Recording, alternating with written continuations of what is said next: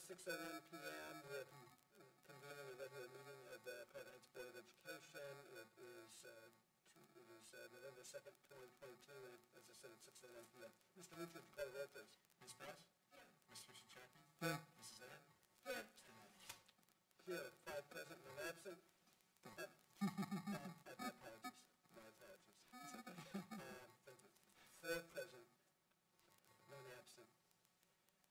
On the board, to welcome students, parents, and interested community members to tonight's of Education meeting. The values, values and encourages public comment on education issues. Anyone having an interest in the actions of the board may participate in the public comments portion of the meeting. Please identify yourself on the board sign-in sheet. A copy of the board meeting agenda is available for review on the district's website. Please cell phones during the meeting. And would you join reciting the pledge of So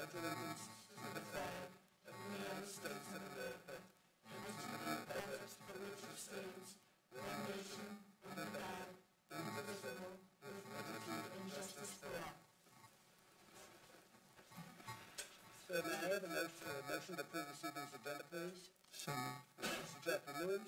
second. Is there any discussion, changes, Mr. Evans? I just, there's a lady on the, on the poll and that just came in yesterday. And if, if the board likes, we can pull that off the consent agenda when we get to that section, I can explain that. Okay. uh, In, in a little bit more detail, but that's someone we're, we've worked with before, and I, I'll, I'll explain when get to that. Okay. Very good. Can I have one question? It seemed to me that six B and nine A were the same thing. Mm. And I, you know, f- I I didn't understand how, why we had to vote on it twice. And that miscellaneous pay rates and the supplemental contract should be two different attachments. So the agenda then should stand as it is, excepting for Richard and Let's see, Wednesday? those are the positions that are being filled in nine A. Let me just double check.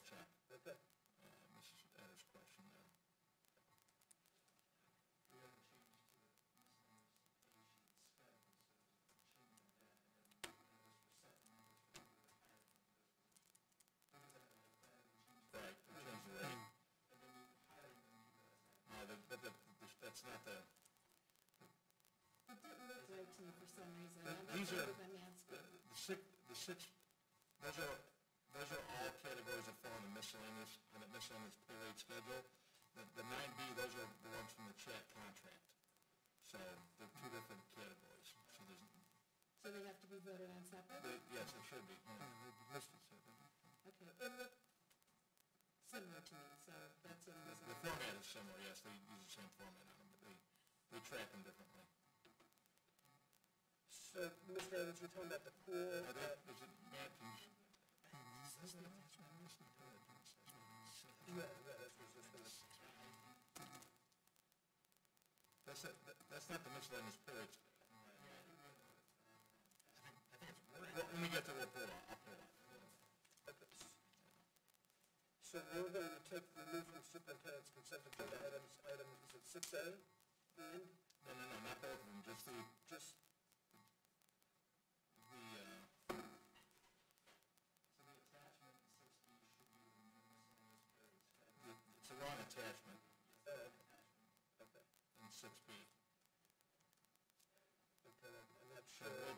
we're gonna, six, six B will be pulled off. okay. And then the note reference to it, uh, the, uh, uh, contract that you want to put off, uh, is that? When we when we get to that, when we get to that section there. Okay. All right, so we this motion on the floor as to of tonight's agenda. It's been seconded, uh, discussed. Uh, I guess we can move to a vote then. Mr. Souchaki? Aye. Mr. Dobbins? Aye. Ms. Press? Mrs. Ennis? Motion passes four zero. To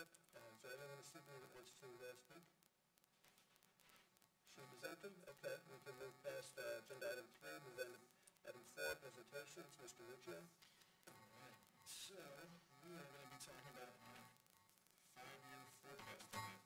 So we have four attachments to. So, we have being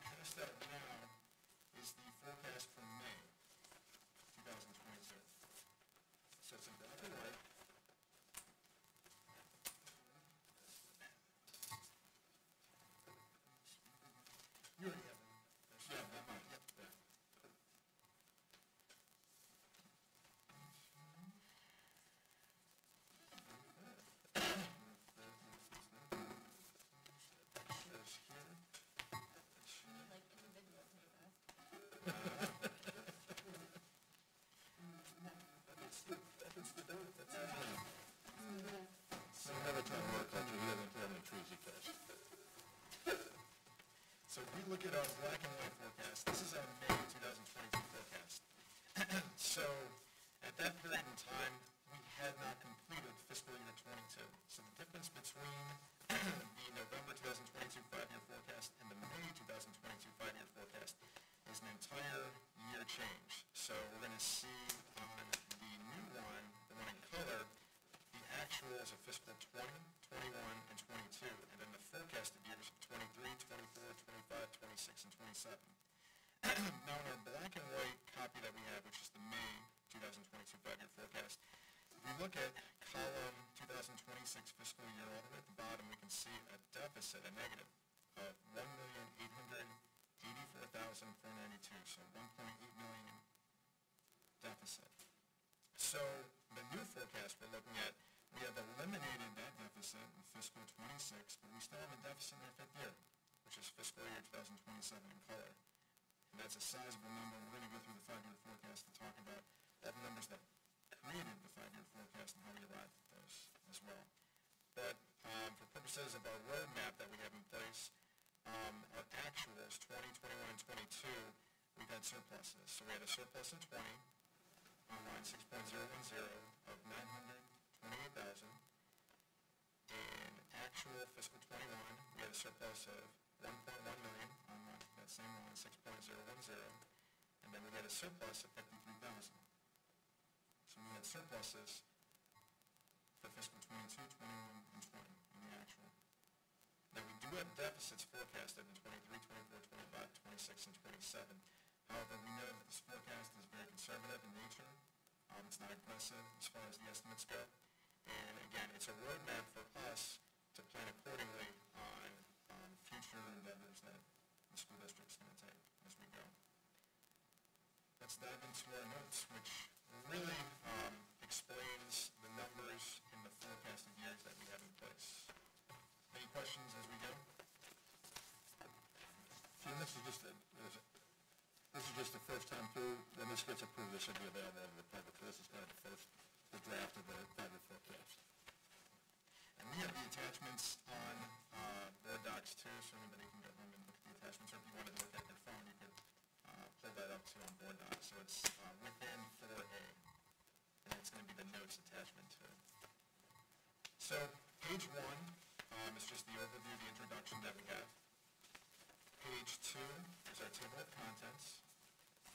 Page three discusses the nature of the forecast. Page four is our budgetary process. Page five, six, seven, and eight just talk about the different lines in the five-year forecast. Page number nine is the embedded November 2022 five-year forecast, in case anybody loses it. I tend to lose mine, so I always like having it in. No.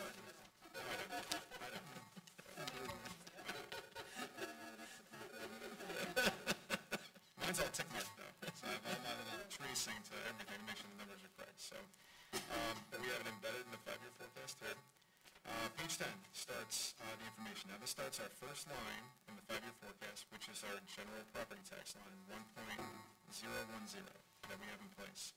Um, there are no changes really on this page, um, as opposed to the May two thousand twenty-two five-year forecast, because we have not completed tax year two thousand twenty-two.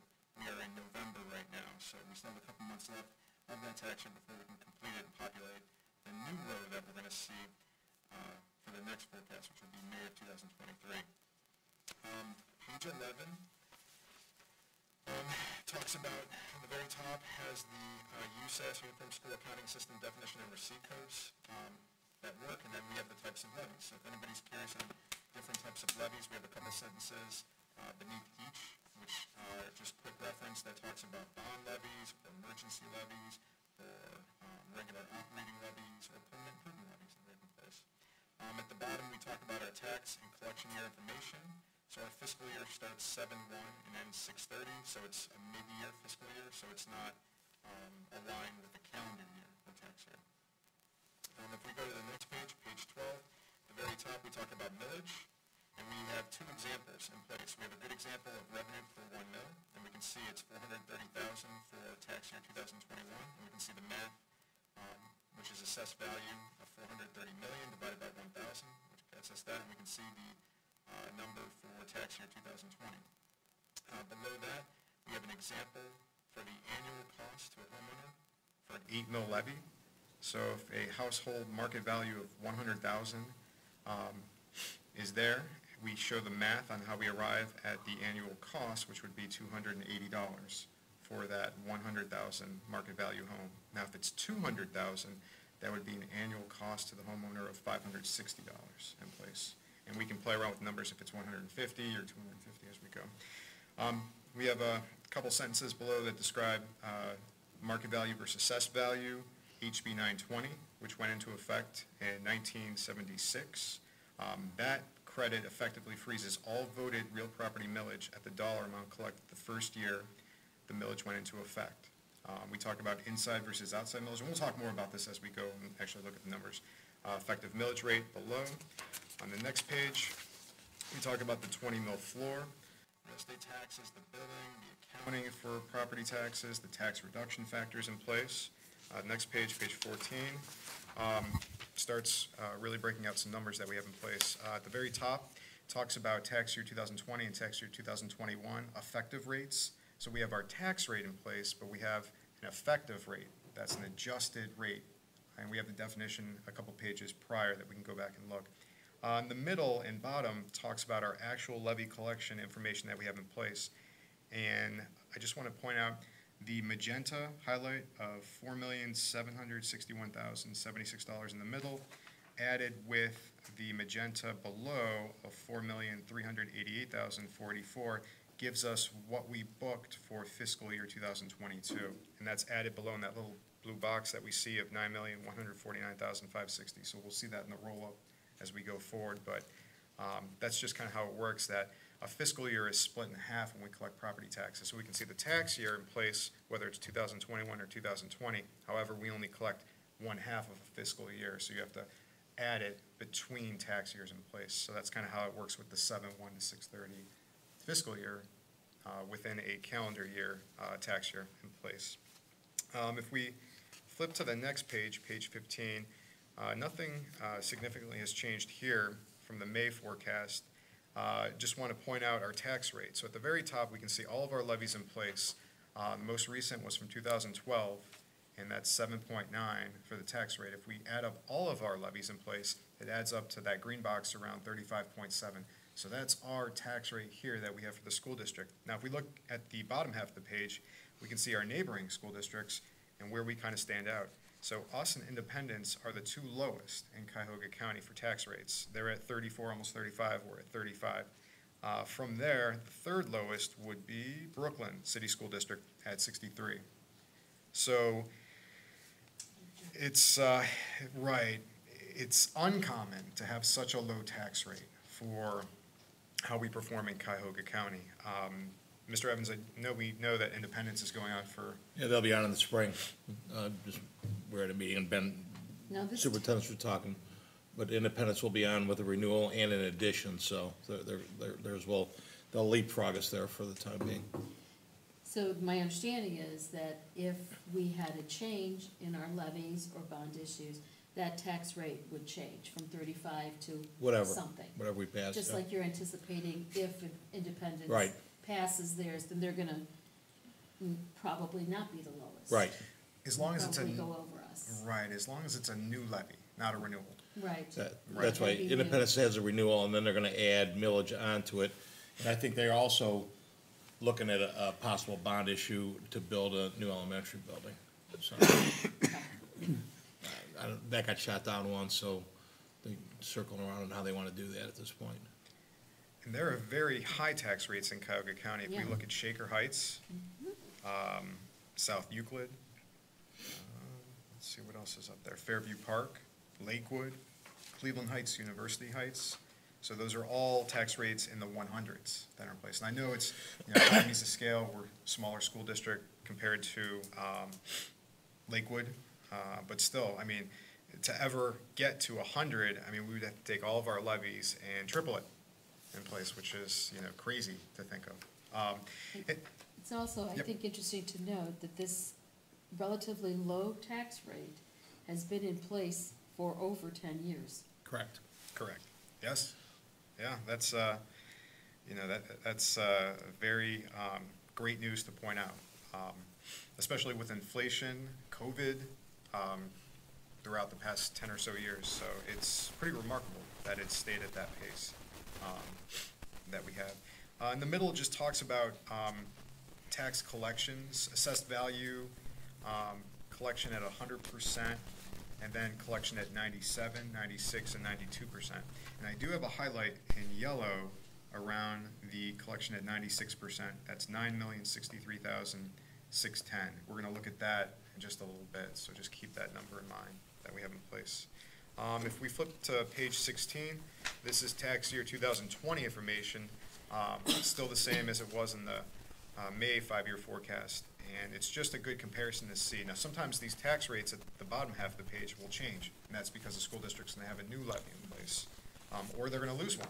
That happened a bit ago to, uh, Euclid, where they lost the levy, and their levy, uh, tax rate went down. And if we go to page seventeen, now this is gonna be, uh, what populates, uh, the first line of the five-year forecast. And again, we see that highlight in yellow, that nine million sixty-three thousand six ten, uh, from what I was talking about. And that goes to what we put in for the estimate. And in my sentence below, kind of in the middle, I said for class one and class two real property taxes fiscal years two thousand twenty-three through two thousand twenty-seven, estimates the valuation to remain consistent and estimates the collection percentage at ninety-six percent. So we're estimating that everything is basically in the same as it was. Valuation's not gonna dramatically increase, uh, for the life of this forecast, but again, that's conservative. We're hopeful it is. Um, but ninety-six seems pretty reasonable, especially when we look at the middle, um, where the past year's collection percentage has been. And it's been in the mid-nineties, so ninety-five in two thousand seventeen, um, ninety-seven the past three years, but ninety-six seems reasonable, maybe a little bit lower, but, um, right there that we have. And the other number that populates row two would be delinquent property taxes. Uh, that number's been almost three hundred thousand back in two thousand twenty, about two hundred fifty thousand in twenty-one, and about two hundred thirty thousand in twenty-two. Now, I put a conservative lower number, hundred and forty-five, just to make sure we bank that amount, don't wanna overestimate it. Um, and then those two figures add up to the nine million, two hundred eight thousand, six ten that we see forecasted for fiscal years two thousand twenty-three through twenty-seven in the five-year forecast. Only delinquent is what we're collecting on delinquent, Yes. Right, not yeah. what's missing, okay. Correct. Um, so if, if we're saying ninety-seven percent's our tax rate, three percent is delinquent. Those three percent we get back. Um, you may see it all in one year, maybe it's still delinquent for another year in place. So there's always a delinquent I amount. think about four years ago, we had a, a big, uh, I think it just jumped off of the r- report, a, a- a big, uh, uh, like a repayment from delinquent taxes. It's Like, I don't know, maybe it was coming out of that little mini recession and Yeah. some people got behind, but it, there, there was, there was a big jump and we, and that was actually a year that we collected, I think ninety-seven or ninety-eight. It was a good, good collection year, so that's, that's, Got it, okay. Historically, we've been high and very lucky, um, especially with COVID. And we see now inflation kind of affecting everything, so, um, you know, that's what we have in place. Um, any settlements we'll put in here in the five-year forecast that we have going forward. We don't have any forecasted, uh, at this period in time, but, uh, that may change soon. Uh, if we go to the next page, page eighteen, this starts, uh, the second row in the five-year forecast, which is one point zero two zero. That's the tangible personal property tax, uh, row. And we can see that, uh, that is made up of, uh, in the middle are public utilities. So we can see, um, the electrical, the gas company, railroads that we have. Um, so those are some of the, uh, ones that contribute to what populates that line for valuation. And below, we can see, uh, the methods of valuation for railroads, electric companies, natural gas heating pipeline, waterworks, uh, rural electric, and water transportation companies. Um, if we go to page nineteen, um, this is similar information, but it's really highlighting, uh, public utility personal property in the pink, uh, that we have. If we go to page, actually, if we stick on this page, page nineteen, uh, look in the middle, uh, column C. So this is our valuation throughout the past years, and it's dramatically increased. It's went from forty-six million back in two thousand fifteen to eighty-one million now. So it's, uh, very much increased um, throughout the years. And the hope is it continues to increase, uh, but it could be a roller coaster. We could be at the very top and we could be on the way down. So that's also a concern. Um, But we've been lucky uh, with that for those entities that make up the valuation, which would be utilities, electric, railroad, um, gas that we have in place. And ju- The history of that was, initially, it- it was to uh, increase to soften the blow of districts that were losing TPP, the, the floor tax. Um, uh, And as I ask now, uh, different people in ODE, they can't give us any kind of prediction as to, or how they even calculated what districts we're gonna get back, uh, quite honestly. Um, But uh, we, this was of Matt and I got real excited last year, we had a number, and then it turned out that that, well, once the dust settled, the number from the county was not accurate, so we thought we had a, we had a windfall, and it was not the case, but, uh, um, this, yeah, this, the- originally that, these numbers were increased, uh, to help districts like ourselves and like the Bedfords and, and Solons and some of those people, districts that were TPP districts that were due to lose a, a pretty fair chunk of money. Not to replace it, not, but just to soften the blow a little bit. And uh, for those who may not know, uh, Mr. Evans is talking about a couple, a while back, uh, I was checking the valuations when they were just put on the website, and they do it at certain times of the year, and, you know, I try to be the first one to take a look at it and see where we're at. So I clicked into it for the 2021, and it had something like 125 million. So I'm like doing jumping jacks upstairs, because I know what that means. And I kind of run down to Mr. Evans' office, I said, you know, look at what we have here, and I'm showing him the form from the county. This is the county's own form. And, you know, we're talking about it and I'm, you know, I'm ecstatic and I'm like, wow, this is like, you know, a huge windfall. This is great news. And, uh, you know, I reach out to a couple area treasurers and I'm like, have you guys seen it? Some have, some haven't. And, you know, I'm, I'm ecstatic. And then, you know, a day or so later, uh, we get a message from the county that they put the wrong number out there and they couldn't really explain it. And they put a new sheet out. And that new sheet had our, I think it was 81 million that we have in place. Um, so significantly less that, uh, from what we saw. So, you know, it was still higher, so that was good news, but it wasn't to the extent of what we saw, and we really got no explanation of it. Um, But, you know, there have been times that, you know, the entities that we work with have been wrong. We know that the Ohio Department of Education incorrectly calculated the new funding formula for us. We had that voicemail that came through, and uh, they had, you know, made that mistake, and we know the county, you know, so it, it happens, you know, it's, we're all human. So, but, uh, for that short day or so, I, I was, I was like, wow, this is gonna really fix us, you know, with our budget going forward. So, and, you know, Extra fifty million dollars. yeah, it, yeah, Well, so, we're third in the county. We get the third highest rate in the county. Cleveland City gets the most, and then Bedford, uh, Bedford School District is second, Yeah. and we were, we were behind Bedford in that category, just because of the, as you saw, the, the, the different utilities that actually go through the district.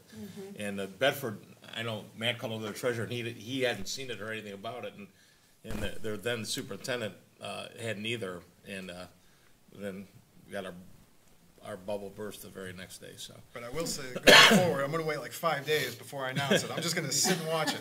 I'm not doing anything. I thought maybe let's not call them next time and see how long it goes before they figure out. Yeah.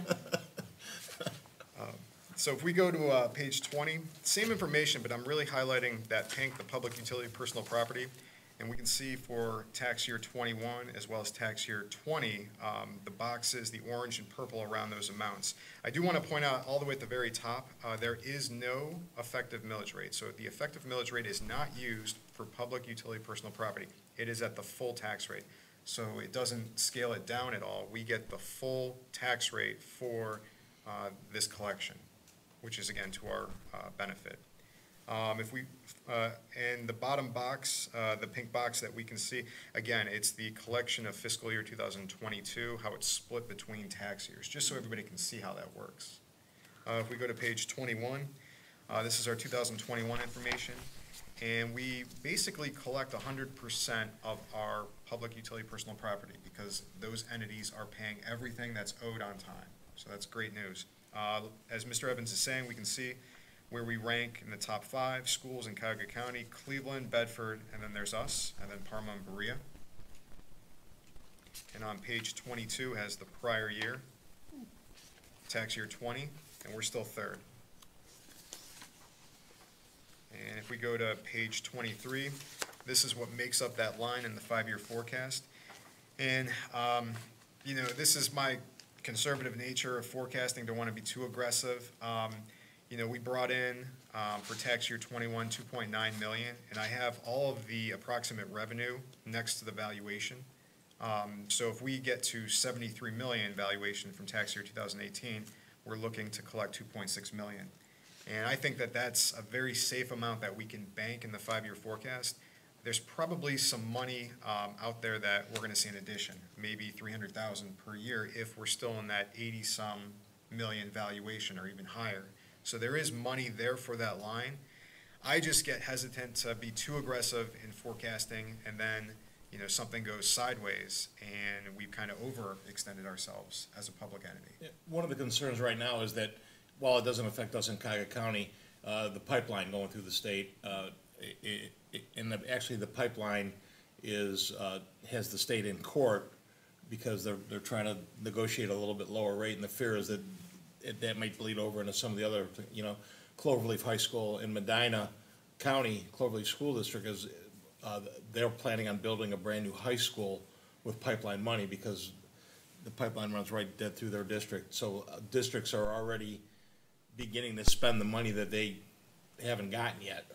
And, and, and the, uh, I think, uh, what, a couple months ago, Matt, the, uh, the pipeline company, uh, is taking the state to court, um, because they think they're paying too much. So, uh, uh, my fear, worst-case scenario is that the state takes a look at all that, all that distribution, and, and hopefully that doesn't happen, so. Yeah, and that's a great example. That's, I couldn't articulate it better. That's an example of school districts saying that, hey, there's a pipeline going through our school. We're gonna collect, you know, in the future years, you know, an estimate based off of what somebody gave us, some es- estimate for the valuation. And that's when the pipeline went to court and said, that valuation is way too high, and it became lower. So some of those schools may have planned on that higher valuation, oh, we're gonna build a field house, or we're gonna build tennis courts, or something. And then, you know, if you don't have it in the bank and it hasn't occurred, and you're too aggressive in your estimating, you can be in some trouble at that point. So, um, you know, it's just trying to be conservative in nature. Um, we do know that there's, you know, a, a healthy difference between that, that's, you know, material to the five-year forecast, a sizable amount. Um, but again, it's just, you know, trying not to overextend ourselves if anything does go sideways. And, you know, COVID, uh, for the past number of years has been, um, side, you know, it's turned everything sideways as we go. Um, If we continue through, page twenty-four just gives the history, and nothing's changed on here, for uh, unrestricted state aid. So this is uh, what we get from ODE for our resident students, uh, these funds. Um, We are in the middle of the budget bill that was uh, passed in Ohio, which is HB one-ten, which is for fiscal year twenty-two and fiscal twenty-three. After that, we don't really know what's in place for school funding. If we go to the next page, page twenty-five, it just talks about, um, you know, our student count, statement of settlements, uh, the Fair School Funding Plan, which is in place, which is HB one-ten, which was just recently passed, I guess, a number of months ago, I should say now. Um, the next page, page twenty-six, we have more definitions of what, um, some of these items are. Now, the restricted ones, uh, are on a different line, but I just included that because it, uh, it's kind of all rolled up together, but we'll talk about that when we get to the restricted, uh, section of the five-year forecast, but targeted assistance, uh, special education, supplemental targeted assistance, temporary transitional aid, transportation, formula transition supplement. So a lot of different line items, uh, that came into play for this new funding model, uh, from the state that they have in place. Uh, the next page, page twenty-seven, gives a comparison between a couple of years that we have. The next page, page twenty-eight, we have our roll-up. So we have, uh, what fiscal 20, 21, and twenty-two actuals were. And if we look at line six, that was the overpayment of sixty-one thousand seven twenty-five that we received in that year, which we in turn have to pay back to the Ohio Department of Education. So that will be deducted from our uh, state aid for this year. So we can see the uh, estimate is relatively close to prior year, and going forward in future years, just flatlined at 500,000.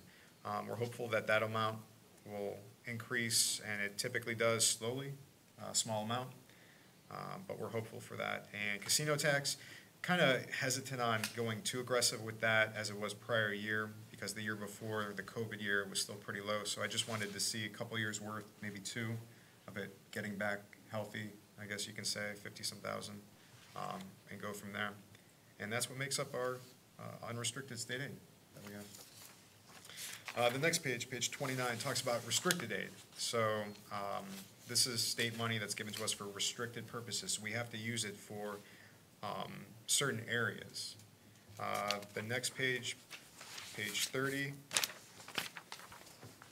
talks about catastrophic cost, and this gives a history of what we have collected for catastrophic cost. And uh, we talk about in the bullet points, uh, more of a background of what catastrophic cost is. And that's when schools may submit reimbursement requests for costs exceeding the threshold to educate K through uh, 12 students with disabilities. So that's catastrophic cost that we have in place. Uh, And it's been over 100,000 for uh, the past number of years that we have. It was 191,000 uh, last year, fiscal '22. Um, The next page, page 31, has our roll-up. And those two tiles that we see, it looks better in PDF. So if you're looking at it on your phone, that comes out clearer than when you print it. I was trying to play around with that, and I couldn't figure out why it wasn't printing as clear as you can see it. Um, We have all the roll-ups that we can see there, and the amount has increased dramatically. Um, Before, it was just lines one and two, economic disadvantaged as well as career tech funding. And they were small amounts, relatively speaking, seven thousand and uh, fifteen hundred. So those were easy to account for in restricted funding that we could earmark for certain purposes. Um, It's a bit more challenging going forward with uh, the new items, the seven new, DPIA, career tech, gifted, English learners, and base cost, but we, uh, we worked together and we, we got that fulfilled. So we'll have to, we have our plan going forward for each fiscal year, so we'll be good with that. Um, You know, I was kind of nervous when the state came out with uh, new restricted funding halfway through the year. I would tell the fellow treasurers, how are you guys tackling this? Because they kind of changed the rules of the game mid-year and said, here's more restricted funding, um, figure out how to use it and account for it. Now, some schools bake in their costs, and maybe they can't, you know, spend all of that, which has to be spent for certain purposes. So uh, luckily, we were able to uh, make it work. Um, Some other schools that have a lot more restricted funding, I would be a little nervous. I was working on that for them. Um, The next page, page 32, uh, is the roll-up that we have for everything. And we can see the actual for fiscal 20, 21, and 22. And we can see that catastrophic cost reimbursement and then everything going forward. And going forward, I just kind of flatlined it to as close to what we're getting this year as possible. We're a less uh, on the catastrophic costs, we're not as high as maybe we're going to see, but that's dependent on a lot of different factors as we go through for uh, those students with disabilities this fiscal year that we'll uh, take a look at and prior year. Um, Continuing on, page 33, uh, we're going to talk about property tax allocation. And there are four items that make this up, and we have those definitions highlighted in green. Homestead, uh, the non-business credit, the owner-occupied credit, and the phase-out of TPP. Um, If we continue on, page 34, now this is our phase-out of TPP. So we can see what our balance was that we were receiving from the state back in 2018. It was 2.5 million. 2019, it was 2.3, 2020, 2.1, 2021, 1.9, 2022, 1.7, and anticipated for fiscal '23, 1.5. And it's decreased 213,000 every year, and it looks to decrease until it's completely gone by fiscal '31. That's in place. So, um, you know, this is just something that's drastically affecting our revenue here at the school district. There is the uh, valuation increase from public utility personal property that we're speaking about um, a bit ago, but um, this is a very sizable portion of our budget. Uh, So just a number of years ago, we were collecting over $2 million, and now we're at 1.5, and a couple of years from now, we'll be under 1 million. So, um, you know, this is very, very significant for our school district here. And it's one that, uh, you know, I am nervous about. I speak to Mr. Evans about, you know, just the legislature taking it away from us. And I know that there are approximately 60 other schools or so that receive this funding, but uh, it is, you know, stressful to think about. The state could maybe pass a bill that takes this away or eliminates it at some point in the future, so, as opposed to, you know, freezing it for where it's at right now, or, or making us, you know, to where we were a couple years ago, so. I think I look back through some records, and at our highest level, I think we, that was about three point three million dollars at one point in time. That revenue to the district.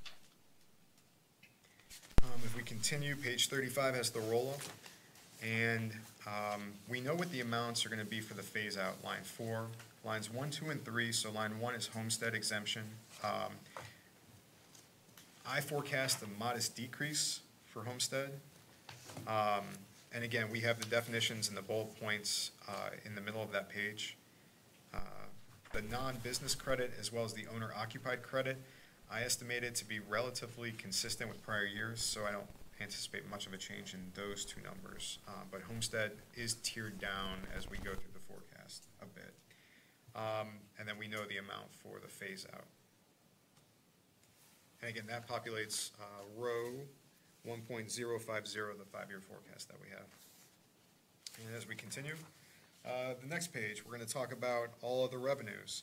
And at the bottom, take a look at this. This is our uh, percentage yield for interest that we receive uh, for Red Tree Star and Huntington Hybrid. Look at Star Ohio, where it was back in August of twenty-one, 0.07, and September of twenty-two, two point five four. So when we watch the news and hear uh, the Federal Reserve, the Fed, increasing interest rates to fight inflation, uh, we're seeing how it works uh, to our advantage, where we're uh, getting more interest from the bank. Now, it's also, um, you know, hurting people as they go out to buy homes and they have to borrow from the bank and the interest rates are skyrocketing right now, are going a lot higher. But uh, to our advantage, um, they're increasing. And for the month of October, uh, it was over three, and the interest that we brought in for just Star alone was forty-four thousand. And we had about sixteen million in the bank to collect on that forty-four thousand, so pretty significant. Uh, Sizable change, and I think just yesterday they increased it even more, the Fed, so. um, That continues. Uh, Page thirty-seven, we talk about our tuition program, and we've had for the past four years, close to two hundred students in the district, and our rates have been the same for those four years in place too. So that's something I know we'll look at going to the future, um, what that tuition amount would be. Uh, the bottom of the page just talks about, um, our, uh, court-placed, uh, revenue that we receive from approximately 20, 25 students that we have. And Mr. O'Keefe works on this for us. We pass a, an agreement yearly with Mr. O'Keefe, and he goes around and finds the court orders, and um, he assists us with that as we go. Um, Next page, page 38, this might be coming in the future. Um, The last time we saw this was 2019. So if we read the first uh, couple sentences, in every county, a certain percentage of property taxes based on a formula is set aside by state law. It is placed in a fund to cover real estate-related costs, including paying for appraisals and panels that decide taxpayer challenges to property values. Counties return leftover money after the state required reappraisals every six years and updates every three years. So we know that there was just one of those that took place the other year. So there may be some leftover money that the county, Cuyahoga County, is gonna return to us. So that letter that I have a picture of came in two thousand nineteen, December of two thousand nineteen, um, and it was fifty thousand dollars. So we might be seeing something similar to that. It's hard to gauge, but, um, that would be a great, uh, holiday gift. Uh. Um, as we go, page thirty-nine, just the roll-up, uh, that we can see, and we have our tuition and interest, um, along with the employee share of insurance that we collect. Uh, you know, interest on investments is hard to predict going into the future after this year. I mean, I've seen rates super low now, I've seen them super high, so, you know, I'm starting to see everything. And it's, uh, I'm not sure where the future is gonna go on that, so it's a bit harder to predict. Um, you know, when COVID first came out, some schools had locked a lot of their cash in CDs, and they weren't allowed to break those CDs, so they had to essentially borrow from the bank for operating cash, yet they still had a ton of money, but it was just earmarked for CDs, so seen a lot in the past couple of years, just with everything going on, it's, uh, interesting. Um, and then, uh, the roll-up here populates, uh, line one point six, one point zero six zero, the five-year forecast that we have. Um, Continuing on, page forty, this is, um, a small amount of revenue, uh, other financing sources, uh, nothing too significant here, so I'll continue going. Uh, page forty-one starts our expenditures, so this is the, um, expenditure side of the five-year forecast that we have. And this would be personnel services, line three point zero one zero. And this page really talks about where we're at now with our collective bargaining agreements for the two unions, Chat and Chase. And those uh, agreements run through, uh, the two thousand twenty-four fiscal year. So that means 2025, 26, and twenty-seven, of the five-year forecast are not tied in with any collective bargaining agreement that we have in place. Um, page forty-two just talks about object codes, and we're very familiar with all the different object codes in place, the one hundreds. Uh, forty-three, this is something new. So every so often, every six or seven years, there's something called a calendar creep. And it's the mysterious, uh, dreaded twenty-seventh pay. So we see in green how a twenty-seventh pay can fit its way into a, uh, calendar year, just how the calendar works, uh, you know, if you do those uh, 26 pays. So I reached out to um, our friends at the auditor's office as well as other treasurers in the area, and um, some districts in green skip a week at the beginning of the contract year, and I know a school that did that, that caused a hiccup, especially if people are on uh, uh, monthly, you know, checks on a consistent basis and they can't skip. Uh, while others pay the annual salary over twenty-seven pays for one year and then revert back to twenty-six pays the following year. That's the preferred method that we follow. We just take an obligation, let's say somebody's salary is fifty thousand, we just divide it by twenty-seven instead of twenty-six, and nobody skips a pay. But So, every yeah. check is just a little bit lower. Right, right. So if we divide by twenty-seven instead of twenty-six, it's a little bit more spread out according to that, but you're still getting paid your, your right amount. It's just that funny way that the calendar just so happens to work for that twenty-seventh pay. So I actually put it here, just so everybody can see it, because it's hard to talk about, where does this magic twenty-seventh pay come from? But it's just the way the calendar works as you go. Let me take a So look at it. that's the actual date that it happens? Yes. June Yep. third, Yes, next yes, The very last day of the um, fiscal, your Yes. fiscal year. yes, yep. Jeez. Yep. So I even sent out an email to everybody, uh, the treasurers in Cuyahoga County, and said, hey, are you guys starting to plan for it? And, you know, I got some responses back. A lot of schools, though, I want to say it's over eighty percent, I think, um, around twenty-four pays. So that could be something we look at in the mm-hmm. future, if everybody, you know, unions and everybody are in agreement, where you're paid on basically the fifteenth and thirtieth, or first and fifteenth of the month. So you just do twenty-four, and you never have to worry about, you know, any funny twenty-seventh pay that's out there, or anything along those lines, so. It sounds pretty easy, but I don't know. It sounds easy, but like I told Matt, the major undertaking is the, those people that already have money coming directly out of their mm-hmm. accounts on that every other week basis, that's a, you know, eh, so ma- so many people now have just direct pay from their, from their checking accounts for a lot of different bills, and, and that's, you have to go through one by one by one to, just to make sure that you've got them all lined up on the dates you want them lined up on, so. Um, the next page, page forty-four, um, just a comparison between actuals fiscal twenty-one and fiscal twenty-two. And if we continue on, page forty-five compares fiscal twenty-two actuals to fiscal twenty-three estimates now. And I want to point out, um, what looks like maybe the largest change here, line seven. So we, in the summer of this year, hired nine intervention specialists from the ESC of Northeast Ohio. So before, we used to hire those same nine people year by year, and we used to pay for their salaries directly to the ESC through purchase services, so a four hundred object code. And no longer are we doing that because we brought them on our payroll. So now we're paying those salaries through the one hundred object code, so that's why we see that amount there.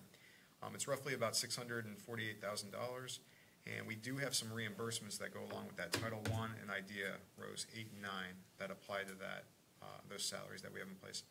Um, lines five and six deal with, uh, the three teachers that are covered by ESSER two and ESSER three, along with the grant reimbursements, and we're looking at about two hundred thousand for fiscal twenty-three as we go for that ESSER money that we have in place to cover those salaries. And as we continue, page forty-six, um, we have our roll-up for everything. So we have certified at the top half, non-certified in the middle, and our grand total at the bottom. And again, that large increase between fiscal '22 and '23 primarily is due to bringing on the nine intervention specialists uh, that we have in place.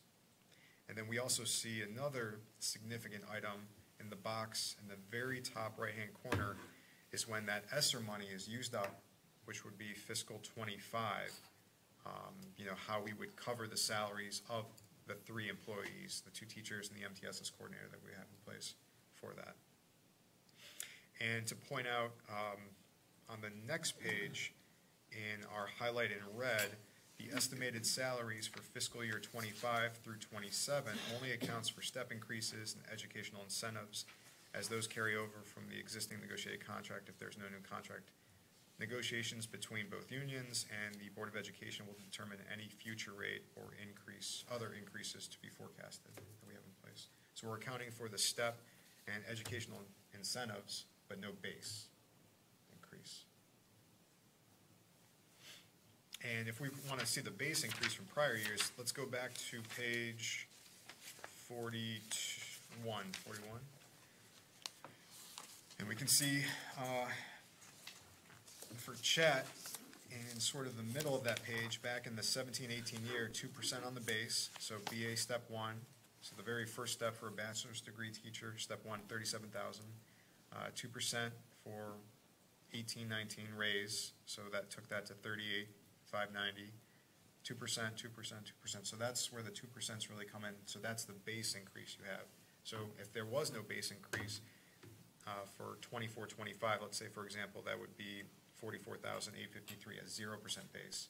People still move up their steps unless they've maxed those out. So if I'm a first-year teacher, I move to my second step on the salary schedule. Um, If I've been here for 10 years and there's only 10 steps, I'm capped, and I, I just stay there. And you get your, everyone gets a two percent raise. only if it's negotiated. Right, right, but in Yes. the current contract. Correct, correct, yep. And if I go from bachelor's to master's, you move over columns as well. So I could get a higher amount if I get my master's degree, for example, from a teacher. Um, so those are personnel. Yep, we went backwards. Yep. So if we go to uh, page 48, that starts our retirement and insurance benefits. And I just wanted to point out, uh, the new numbers here would be the October 1st, 2022 rates that we see. And there was a 6.7% increase for medical and drug and a 2.4 increase, but that's just for family rates. It was a 0% uh, increase for single rates for dental and a 0% increase for vision. And if we look at our history on our rates, um, we've seen um, our dental be lower than what it was. So our dental now, let's say in 2022, at 4921 for single and 14001 for family, is lower than what it was in 2019 when we had medical mutual instead, of uh, Delta Dental. So that was 6402 for single, and for family it was 14397. And we made that change during the November 18th, 2020, so almost two years ago, um, switching that up. So going to better benefits for dental and vision at a lower cost. And if we go to the next page, page 49, um, this just talks about the object codes that we code all the expenses to, and we talk about our Bureau of Workers' Compensation rate. Um, Our rate's been relatively consistent through the past number of years, um, and we're always working on uh, reducing that rate.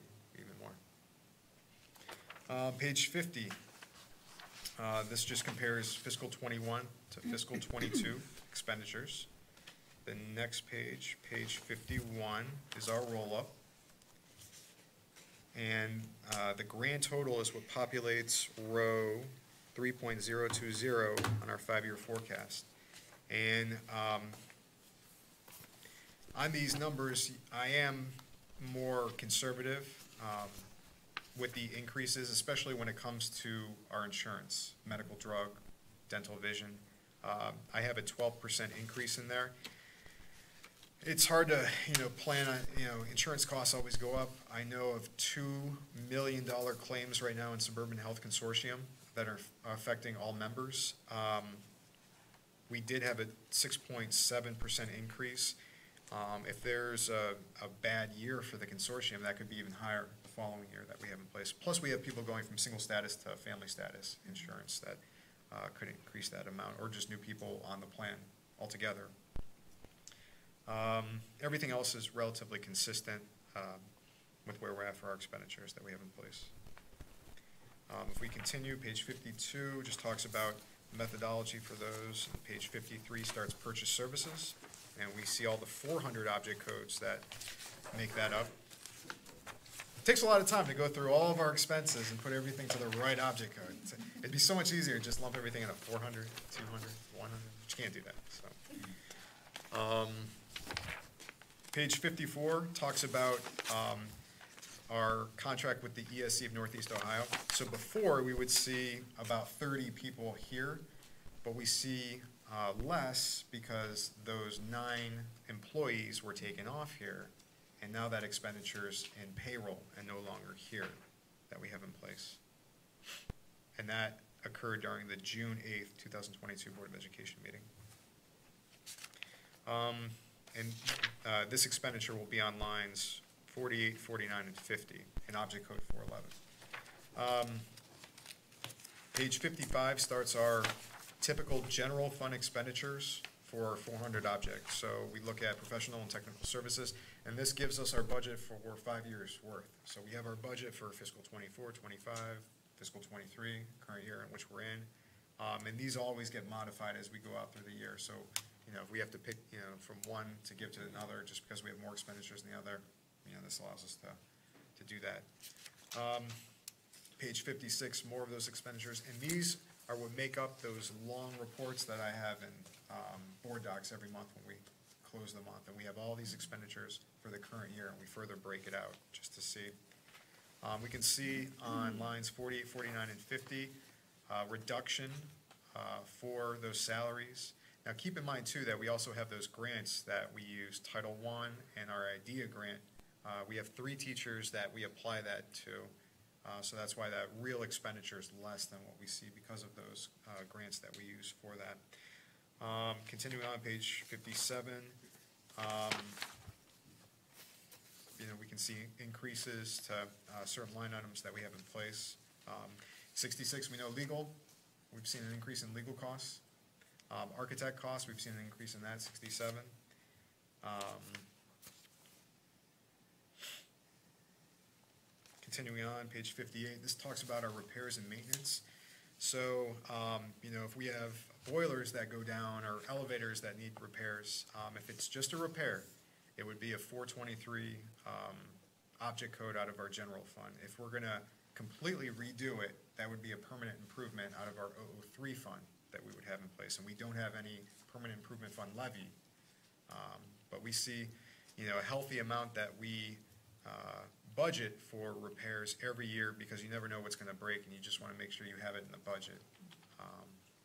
But, you know, those just come up, you know, as, you know, stuff just, uh, you know, just breaks as we go. Um, page fifty-nine continues that, page sixty, um, more expenditures, sixty-one, more expenditures, sixty-two, utilities at the bottom of the page, um, sixty-three. Wanted to point out the bottom half of page sixty-three, this is our tuition, uh, for outplacement primarily. And I worked with Mr. Burek on the students that we have outplaced, and we have a, uh, as of this point in time, this is what this map looks like for us. Now, it could change as the school year goes, um, but as of this point in time, that's what this looks like for outplacement of our students. Um, it's always gonna change as we go, so just be cognizant of that, and, um, some years higher, some years lower as we take a look at that. Uh, page sixty-four is the total, grand total that we have, and that makes up line three point zero three zero, which is purchase services of the five-year forecast that we have. Uh, 65 starts our supplies and materials. All of our 500 object codes. Uh, A lot of these are general supplies for the elementary school, middle school, high school.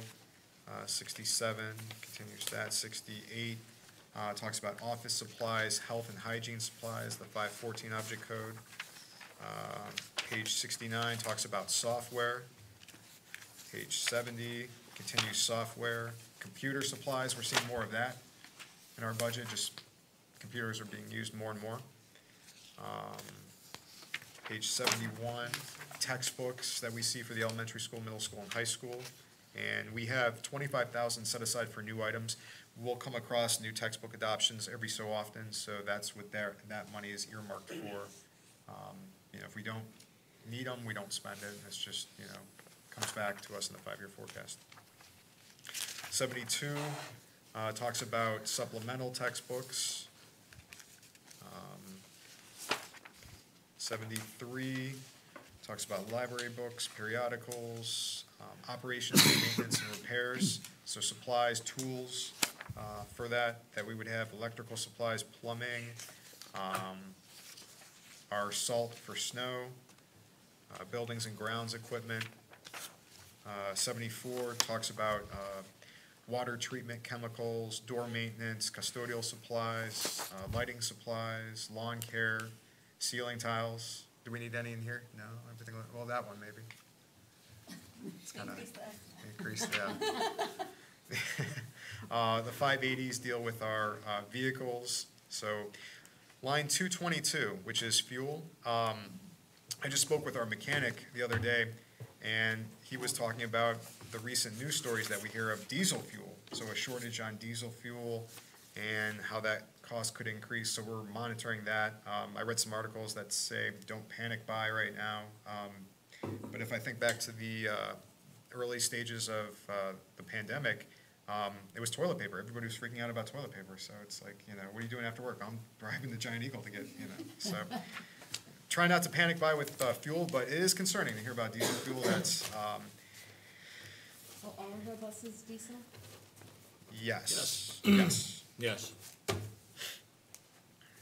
So that, but again, I was, as I was explaining it, you know, to our there a window mechanic, open? I was saying, you know, if, if, yeah, if we don't have diesel fuel, you know, everybody's gonna be in the same boat. Yeah.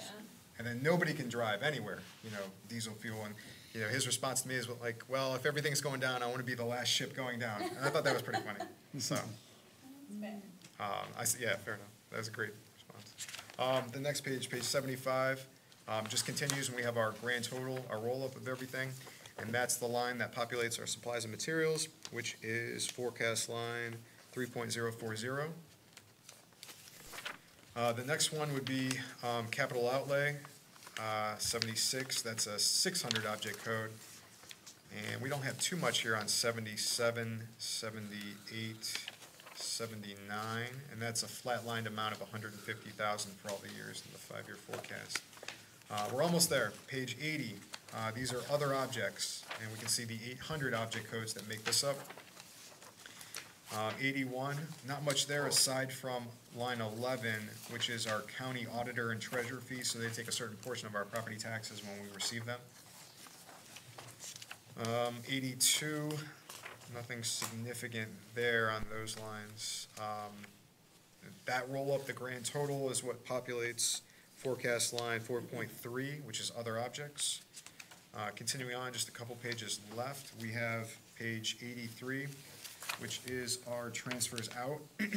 And we can see our actual transfer out for fiscal twenty-two was seventy-five thousand, and it's estimated to be two hundred twenty-five thousand for the hundred thousand for the athletic fund, seventy-five thousand for the food service fund, and fifty thousand for set-asides. Now, set-asides, speak about it in the middle here, uh, school districts are required by state statute um, to annually set aside an amount based on a formula for capital improvements and maintenance. Amounts not spent by fiscal year end or offset by other restricted resources received during the year must be held in cash at fiscal year end and carried forward to be used for the same purpose in future years.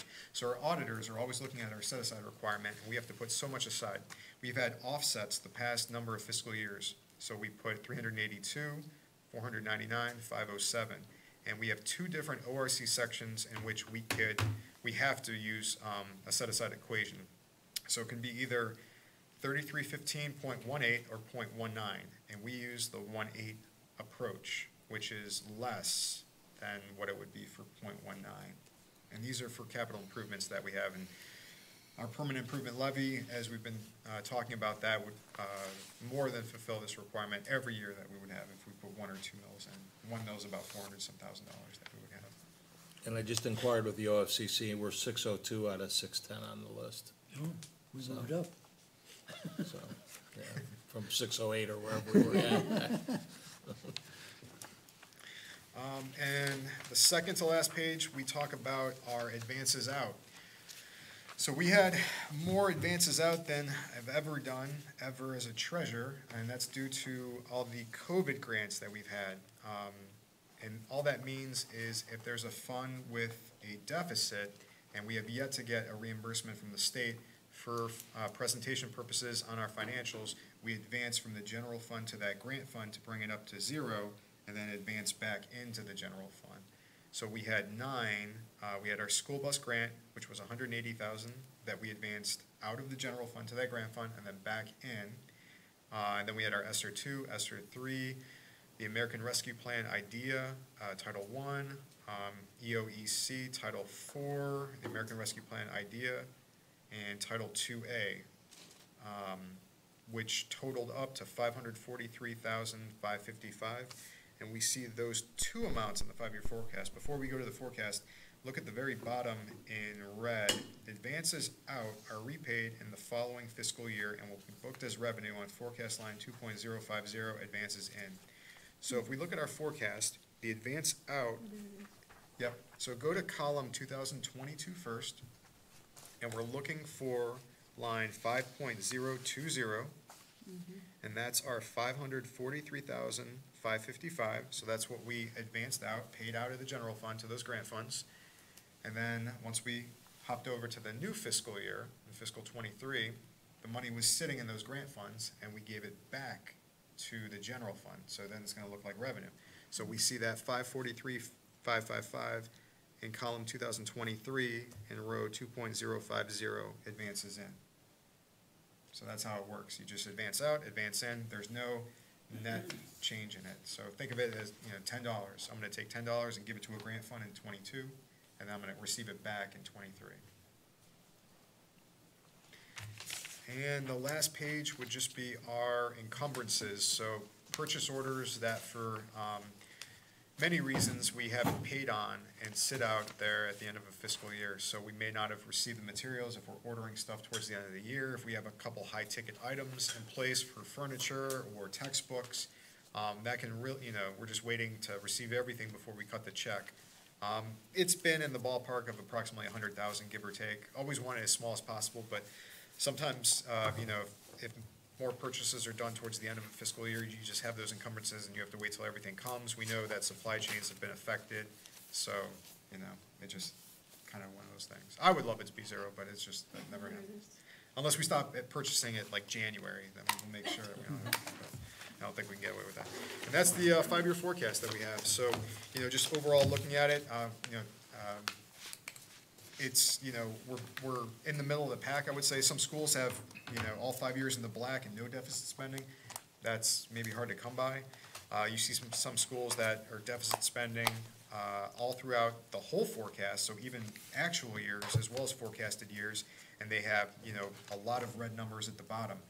Um, you know, I would say we're in the middle of the pack. We just have to be, you know, very mindful of the future and, you know, just kind of always use this as our roadmap as we go for revenues and expenses. And I know there's been discussions for the need for a levy into the future. We uh, talked about last board meeting, a number of schools that are on the ballot and how it affects their five-year forecasts. Um, in place. Any questions? It's really impressive. Yeah. Really thorough, and even though I see some red on this page, I'm still okay. We'll see what happens. Yep. And we'll, you know, we do this twice a year and we're constantly looking at our financials, um, as we go, so, um, you know, it's gonna get reevaluated and, um, you know, we're always talking along the way. So, you know, this roadmap gives us plenty of time to plan accordingly for the future. You know, if we saw that red number in this fiscal year, fiscal twenty-four, then it's time to panic, but it's, we're not there. Um, we have, you know, plenty of time, but again, there's a lot of, uh, conditions that are tricky. Um, you know, our property taxes are stagnant, they don't really go up significantly. Um, you know, collection rate is very, you know, we're subject to that if it goes down, uh, with economic conditions. The state aid hasn't really come to the rescue of a lot of school districts in the state of Ohio significantly. Um, you know, we do know that our TPP phase-out is, uh, significant, and we, we're losing two hundred thousand every year.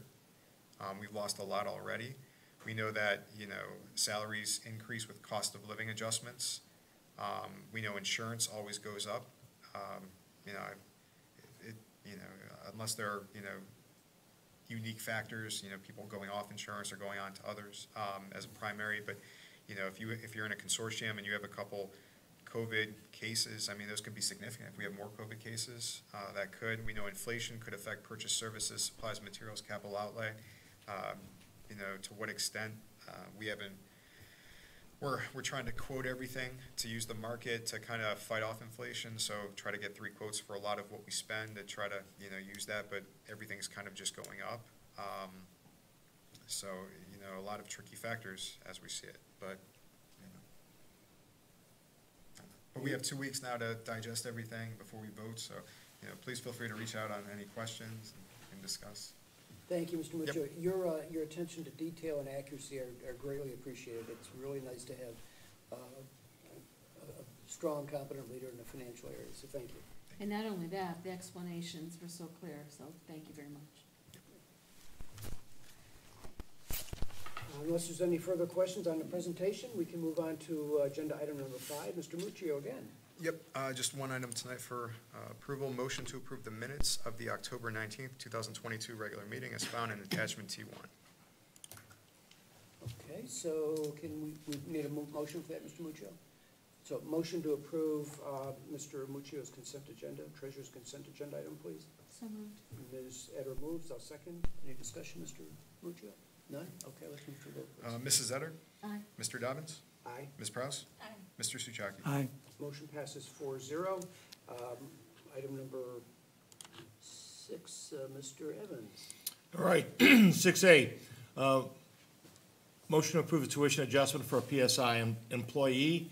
Uh, B, uh, motion to adopt revised miscellaneous, uh, this, this is the one we pulled off, I apologize. Right? Yeah, Because the, Well- the, uh, the attachment's not accurate, Right. The attachment should, so that's, with fifteen dollar. um, If it's just one change. And this It's just- attachment it's just- should actually be nine. it's just one change. Can we pass that out? Yeah, thank you. Well, I thought it was funny because there wasn't any Yeah, amount. and the attachment for six B should be the attachment for nine A. And all we did was, Which makes it the- even- the attachment is we, and I'll- we raised the rate on the, on the lifeguards for the pool.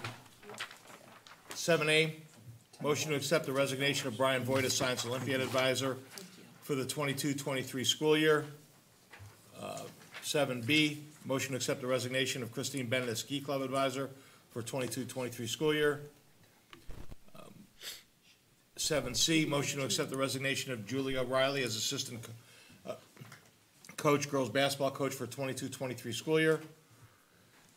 And seven D, motion to accept the resignation of Chris Clements from a four and a half hour bus van driver and one and a half hour custodian three effective November sixth. Uh, Employment. Eight A, motion to approve the employment of Chris Clements as custodian three, step three effective November seventh, 2022, 22-23 school year.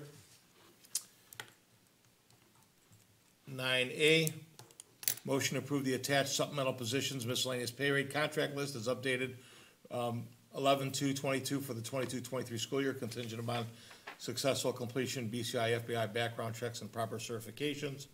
Yes, so what do we do now? So six, the six B attachment is the attachment that should be on nine A. So there were two wrong attachments. Six B should have been the new s- salary schedule.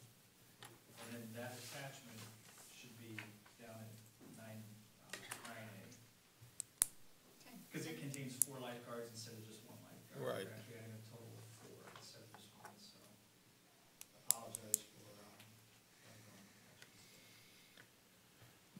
Nine B, motion to approve the attached supplemental contract, chat contract list is updated eleven-two for 22-23 school year, contingent upon successful completion BCI, FBI background checks.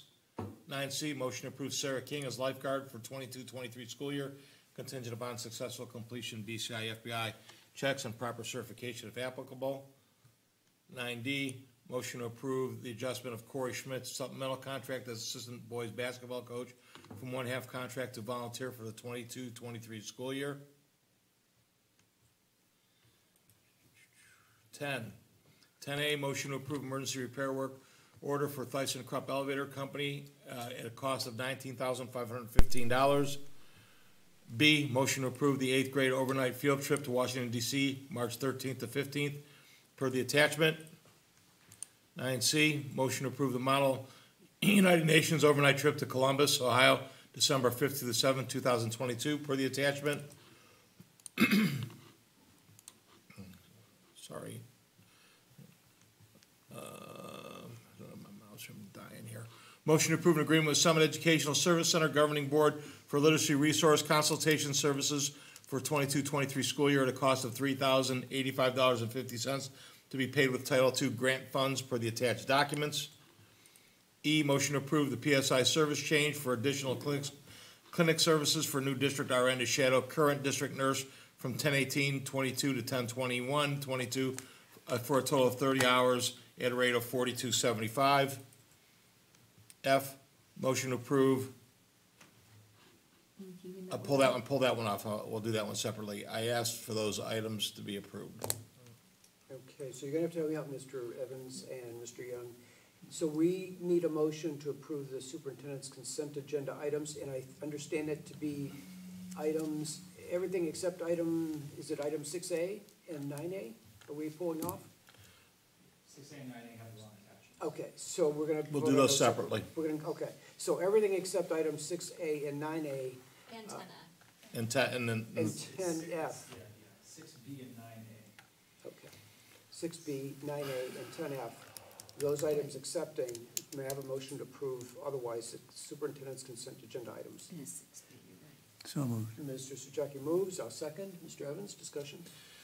again, I apologize for those attachments getting all mixed up there. Um, Six A, that's the, that's, we granted that to PSI employees previously. Our, our new nurse, um, has custody of her grandchild, and the student's already a tuition student here in the district. This would waive the tuition, which we have we have done for previously for PSI employees.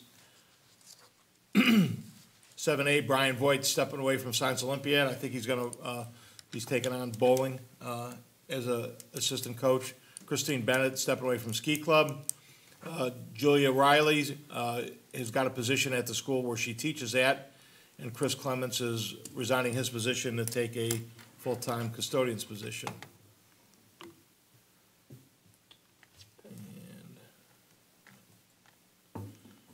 And Trying to do this without moving stuff all over the place here.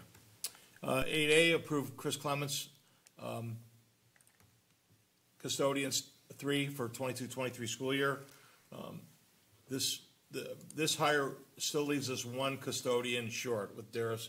We just had a retirement, so we've been, uh, one of the things that Matt and I were talking about today as we were looking at the numbers, we've been, we've been a custodian down, uh, for well over a year and still trying to fill a position, just, you know, every, now and again, we get a couple applications in there, we've interviewed some people, it just, uh, not, not the right fit and not what we're looking for. Chris has been with us, uh, as a bus driver and, uh, uh, has worked pretty hard with us through the summer, so we're gonna bring Chris on, but we, we were down two, so we really had to do something. Um, nine A is, we pulled off, correct? Yes?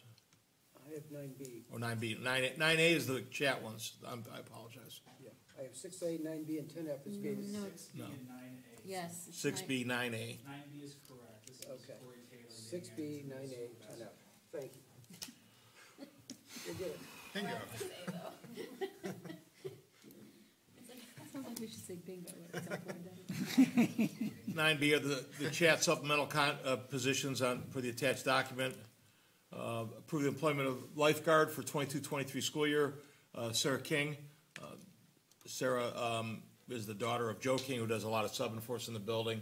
Um, we thought we had her last year and she had another job, but, uh, she's gonna help us out and quite honestly, we have to have lifeguards to have swim practice. One of the, one of the things that a lot of people don't realize that even with the swim team practicing, we have to have guards on station, uh, at the same time, so, um, Sarah's helping us out there.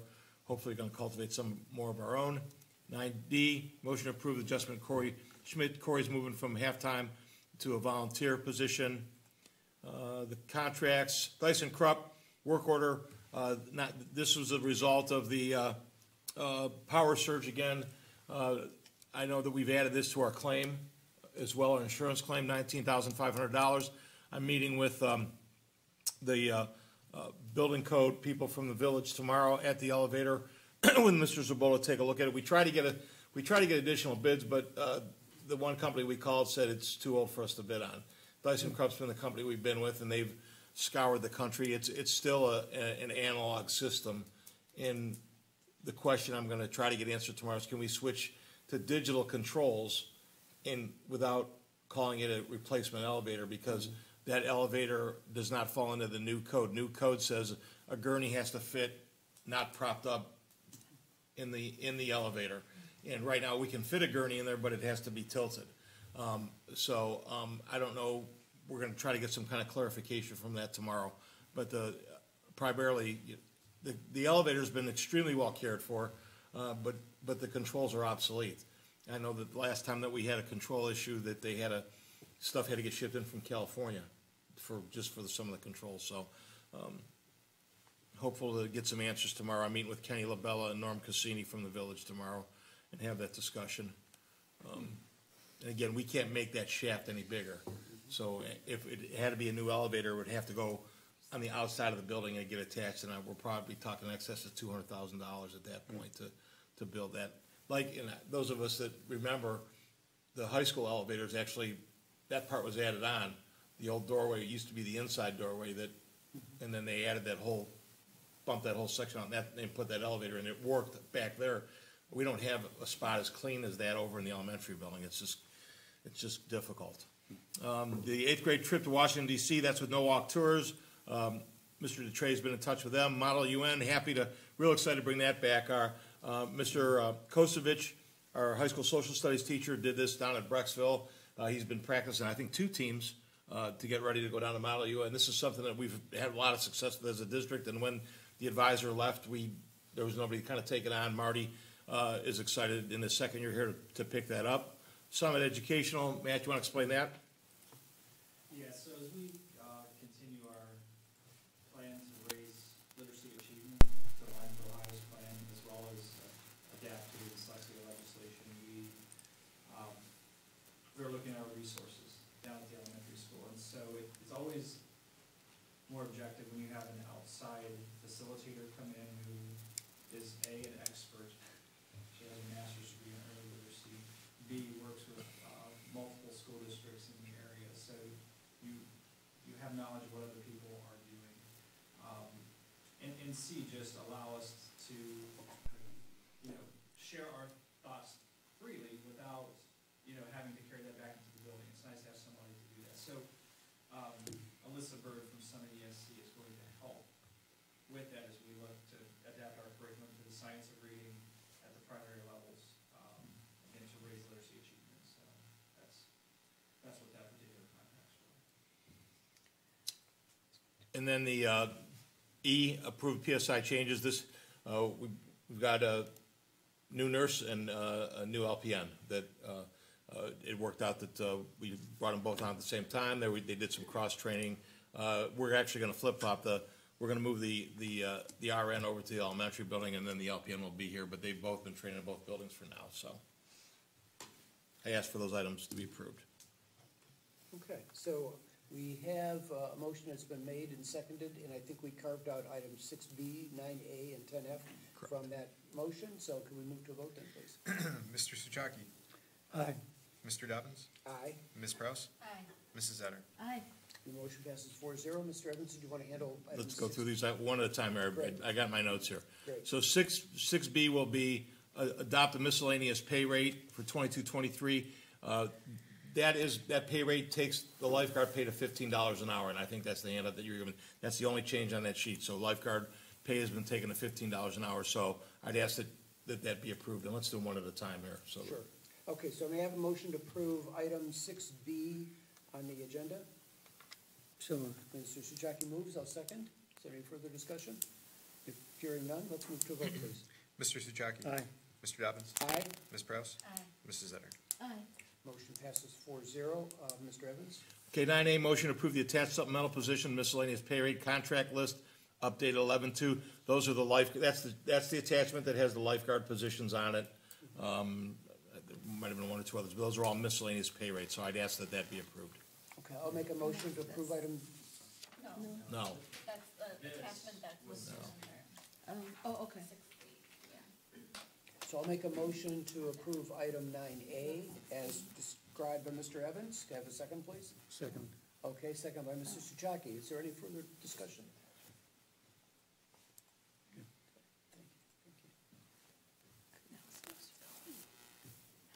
Yes.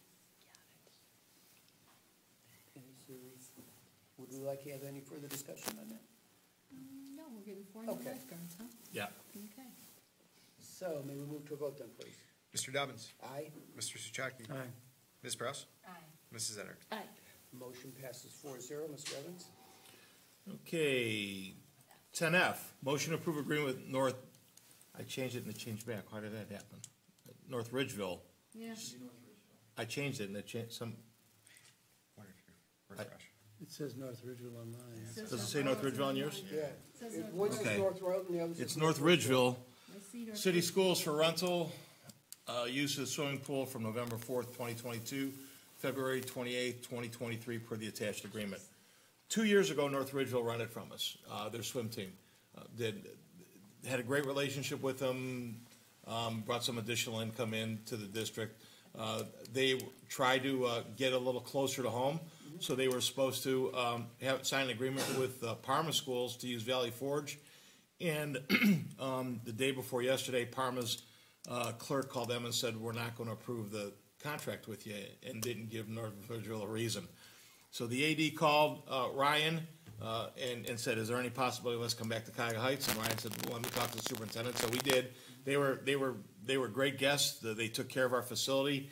Uh, the added income is about a thousand dollars a week, uh, based on the charges, so about four thousand dollars a month while they're, while they're swim here.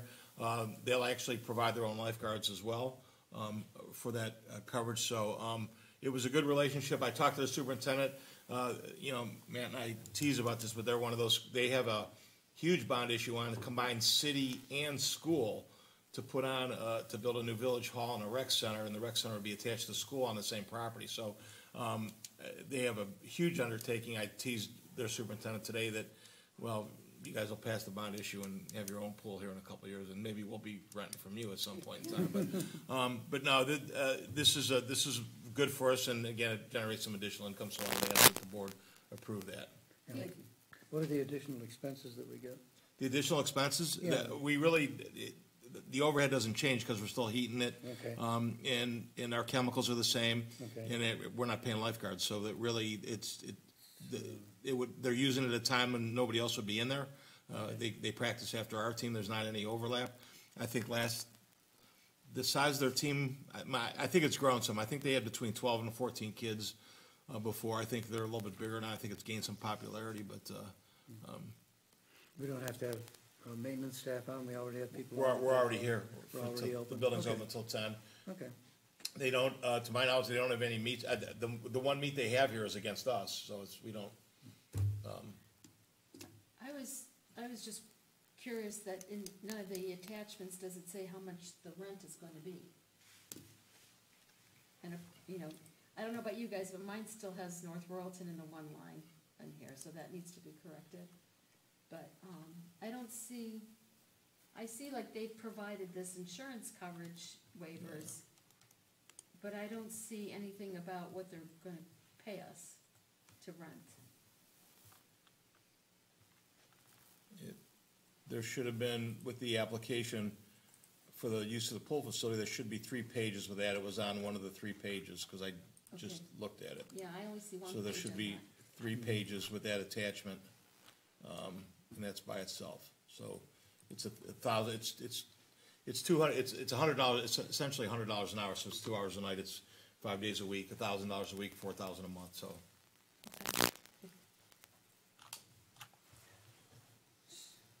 So, uh, with that background, let's move, or I'll make a motion to approve item ten F on this evening's agenda, which is, uh, this agreement to, uh, rent our pool facilities to North Ridgeville City Schools, and that is as verbally described by Mr. Evans. And principally, that's to include, uh, would you say is a hundred or two hundred dollars an hour? Hundred dollars an hour for two hours, Mr. Evans? Correct. Okay, for five days a week, Right. as you say, Yeah. do the math then. Okay, so that would be my motion. Is there a second on that motion? I'll second that. Okay, Mr. Souchaki, second. Is there further discussion on that? No, thank you for the clarification. Sure. And we uh, will ensure that that's how we are approving this motion this evening, if, if it indeed it is approved. So, uh, unless there's further discussion, let's move to a vote, please. Mr. Dobbins, Aye, Mr. Souchaki, Aye. Ms. Prowse, Aye. Mrs. Etter. Aye. the motion passes 4-0. Thank you. Mr. Evans? I apologize for all the confusion with the attachments. The last time I went through it, I, things were in their correct place, and then they ended up not being there. Um, two things I wanna, uh, it's, I'd like, I'm gonna send a lot of, uh, um, information out from the non-publics about what area tuition are. We need to, I need to have a discussion with the board about our tuition rates. They've been the same for, they've been locked in for about four or five years. Uh, if we're talking about a levy, then we certainly need to raise tuition rates to be reflective of that as well. Um, I'll, I'll collect some of that information. We currently, pre-K is fifteen hundred, elementary is twenty-five hundred, uh, six to eight is, is uh, thirty-five, and high school is fifty-five, nine to, nine to twelve. Um, I'll get some people around us with, what their rates are, but I would like to then meet with two board members to, to have a discussion about, in, in the past, we've done this with the finance committee, but we, we haven't really, the finance committee really kinda hasn't met, and uh, people were kinda moving in and out of that, but, uh, um, um, once I get that information, I'll look for, hopefully two of you to volunteer to sit down with me one night, and maybe Mr. Muccio, and talk through what the, what those increases would look like. Are we still planning, as we did pre, before COVID, those, um, like open houses that we used to have? No, um, not. that's a great question. Uh, We had talked about that as an admin team, we'd always run that, we- we'd run that open house in February. Now, we may still do it, but it won't be focused around tuition, because we're, quite honestly, we're maxed out in a lot of grades right now. In other words, we're, we're, we're we're not taking any more students, so the, the, I hate to run an open house and make people think that we, we're gonna take in all these kids when we're not. Okay. Um, uh, there's only openings in several grades right now. There's less in the elementary because we cap it at a lower number in the elementary. Uh, when, once they get to high, uh, middle school, we cap it at, uh, about seventy-five per grade level, cause we have to account for any students that may transfer back here from a non-public school too. Uh, and then high school is a little bit, that we take a few more in high school because the schedule opens itself up. And with kids going to career center and, uh, it- we can go beyond seventy-five kids in a grade level. I know my, uh, my first year here, the junior class had uh, about ninety-three kids in it, and I think about ten of those kids were tuition kids at the time. But I- that, that, those were tight quarters. I don't know that we'd ever go that high again, so, Okay. um, but uh, we would still love to run an open house in the winter. Uh, you know, we had the band in, and we had the, the pool was open, we gave pizza out, we had the, uh, the, the chamber strings came in and played, uh, the band came in and played, I think Scarlet Angels sang. I'd love to do that, something for the community, uh, just to get people back in the buildings, but the focus wouldn't be on, on enrollment and, and on the tuition program. I just think that with COVID and what we've gone through, people want to get back in our buildings and see what's going on in, in our buildings. And, uh, you know, we had the table set up in the cafeteria before, and a lot of, a lot of community organizations got involved in that too. I mean, the, the sewer district and the park district, uh, had set up tables, and I, I think that was a, a nice little break at that time of the year, that week between the, the week before the Super Bowl, because there's a Yeah. week where there's no football, and that, that Sunday, uh, that, that's what, that was purely intentional, it was. Uh, We did it between the, the, the championship games and the Super Bowl, that was by design. The problem with that for tuition wise now is, is if you, if you look at the papers at all, the, the non-publics started the beginning of October offering testing, and, because they're each trying to leapfrog each other to, to get kids in and get kids signed up, so, um, I don't know that, and we're not necessarily in competition with them, but uh, we've already been taking students on shadowing days. I, we open that up to guidance that if, if we have openings in, at grade levels to allow students to shadow for the day, and, which is what our common practice was before. Yeah. Uh, before we did it, before we ever did an open house, it was all done via shadowing. Yeah, yeah. And then we will still conduct the interviews with the principals, uh, to, to, deter- in the- those grade levels that we have students open in. Yeah, I mean, I only brought it up because that would obviously play into, if there's changes in tuition rates, obviously you'd wanna have that in place before you had an open house. Now, you know, with that explanation, that's fine, and an open house or anything community oriented that could ever be done, it, it only serves the purpose to the district of, you know, I don't wanna, it's kinda, kinda cliche, but it's good PR, that's all. And you hit on my motive, quite honestly, we're trying to do the, we're trying to update the tuition brochure, and I wanna make sure I've got updated prices in it when we get it printed. I don't wanna print a brochure and, and do a mailing and then say, oh, by the way, the, the, the prices on there are not accurate, or, or not, or send it without prices, cause then, uh. Oh, yeah, uh, that it does- doesn't- uh, it- You that know, doesn't- Trick question. Right. Yeah, that'll just, yeah, that just creates more, more questions than answers, Right. yeah. so. What's your rough timeline for um, having this uh, meeting and evaluation? I'd love to get, have something done bef- before the end of November. Okay. Uh, so that I can So get, this cause, month. 'cause Margaret and uh, Charlene are chomping at the bit, they sent, it- sent me a draft of what they've got in there, and, and we need to get that out, so. There's, that's an involved project for Yeah. them, and that's No, they, they, crucial. you know, that's going well. Um, One thing, you know, Matt talked about the state finances. I sent you the on the money, and, and the state continues to be maybe more flush than it's ever been. Um, and the rainy day fund, if you remember the beginning of COVID, the, the governor didn't spend any money out of the rainy day fund at the time, because he said we we're gonna need it later on in COVID, and then they never touched it. So the rainy day fund, by law, is maxed out right now. They didn't spend, the state didn't spend a penny out of that.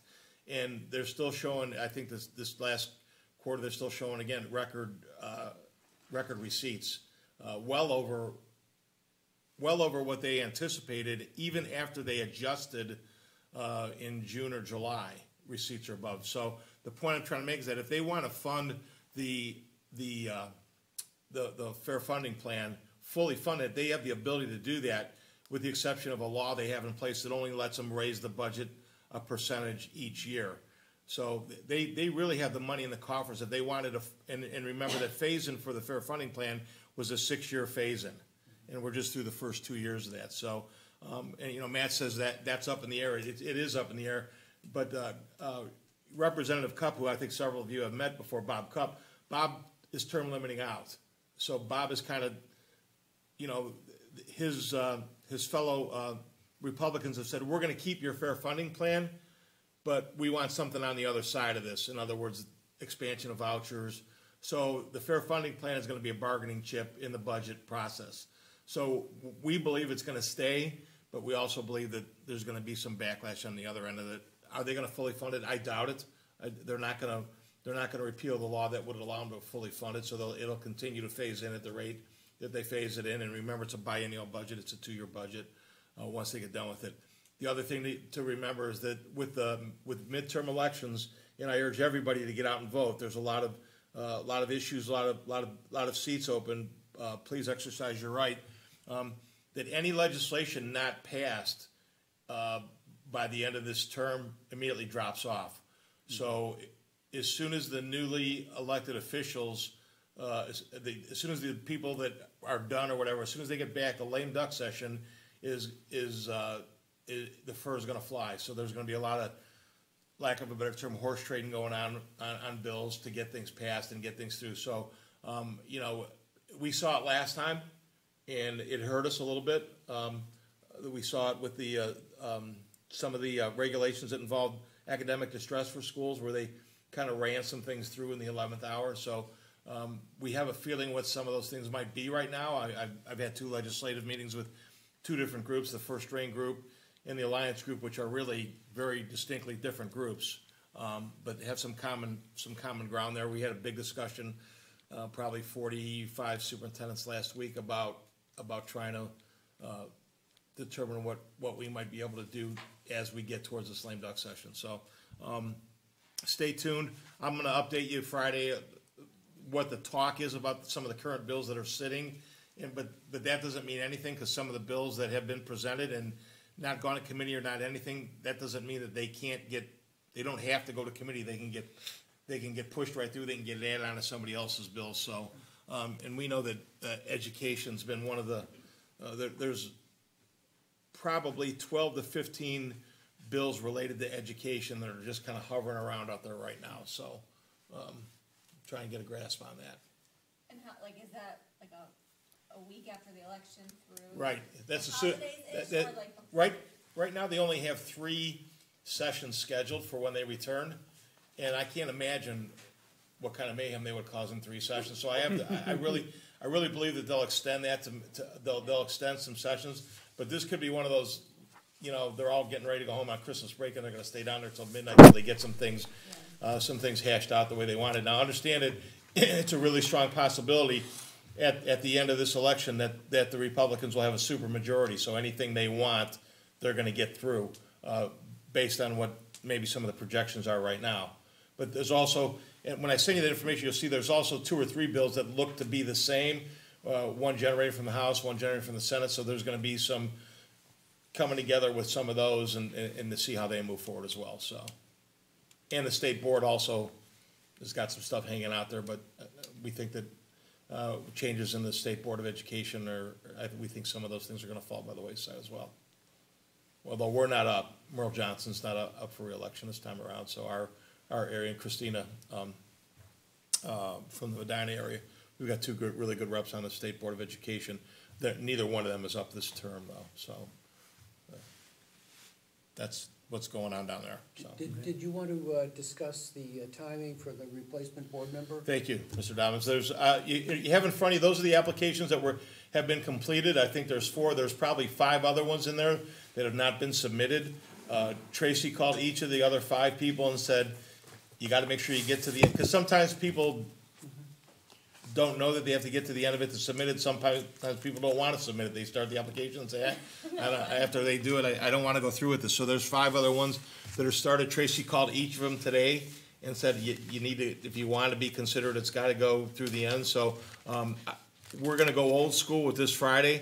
Um, you're gonna get a packet delivered to you with everybody that's submitted an applic, like, Stephanie, Stephanie, you were, Stephanie, you were, you weren't here, you weren't part of that, where, where, what my, my maintenance guy would be standing there chomping at the bit at four o'clock on Friday afternoon to, to deliver the, in rain, snow, or whatever, deliver packets easy, 'cause to we're right houses. the street from each Okay, other, so but, uh, that'll be an easy so, but, but I. I will send a packet with the update, with what we have at, at the cutoff time on Friday, uh, for you to look at over the weekend.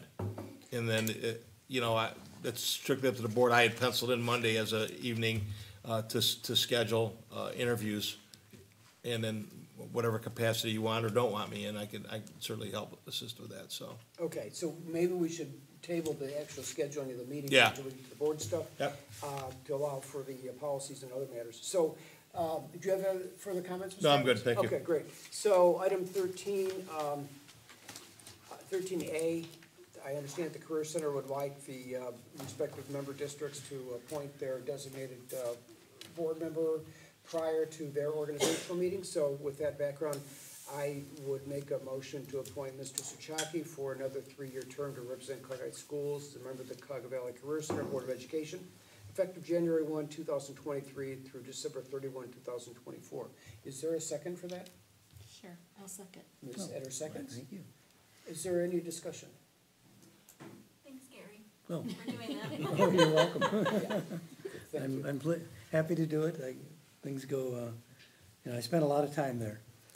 And, uh, it's, it's a great place and, and a great group of people to work with, and I'm be privileged to, uh, serve another term.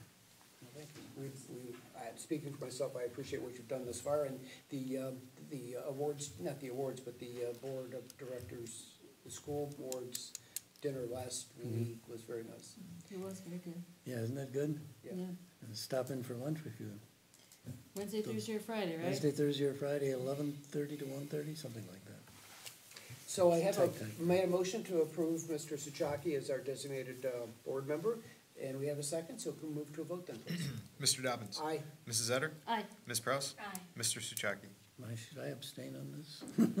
I don't know if I'm supposed to abstain or. No, not. I think this is for an appointment to committee, that you- you're, I can do that, okay. that you absolutely can. Okay, so the ma- motion passes four zero. Congratulations and thank you, Mr. Suchaki. Thank you. yes. Uh, moving on to board policies, item number fourteen. All right, thank you very much. We have uh, ten policies tonight. Nine of them are revisions, and one would be a new policy for Cuyahoga Heights.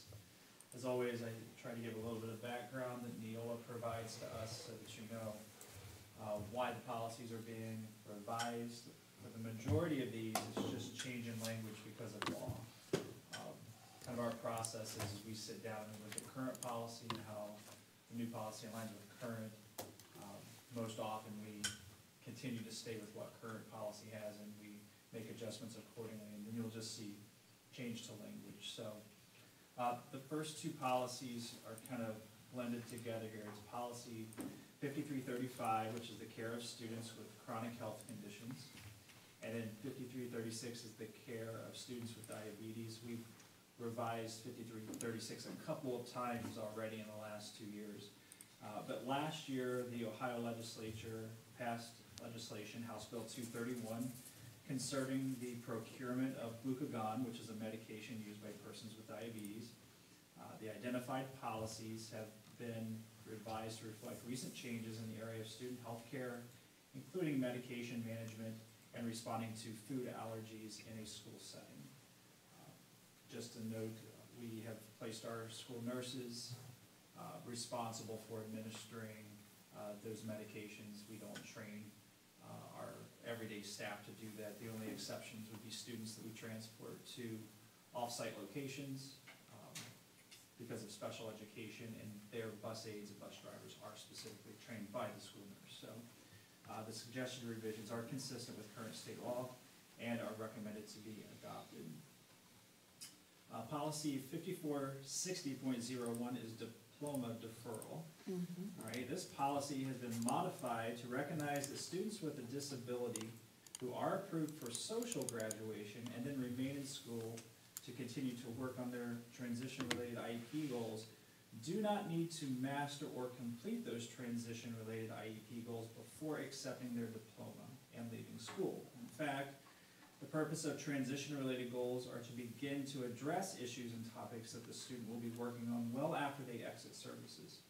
As such, students who have completed their academic requirements may receive their diploma and exit services when the IEP team determines the student has made sufficient progress on the student's transition-related IEP goals, or the student reaches age of twenty-two, uh, whichever comes first. So the proposed revision is consistent with current state law and is recommended to be adopted.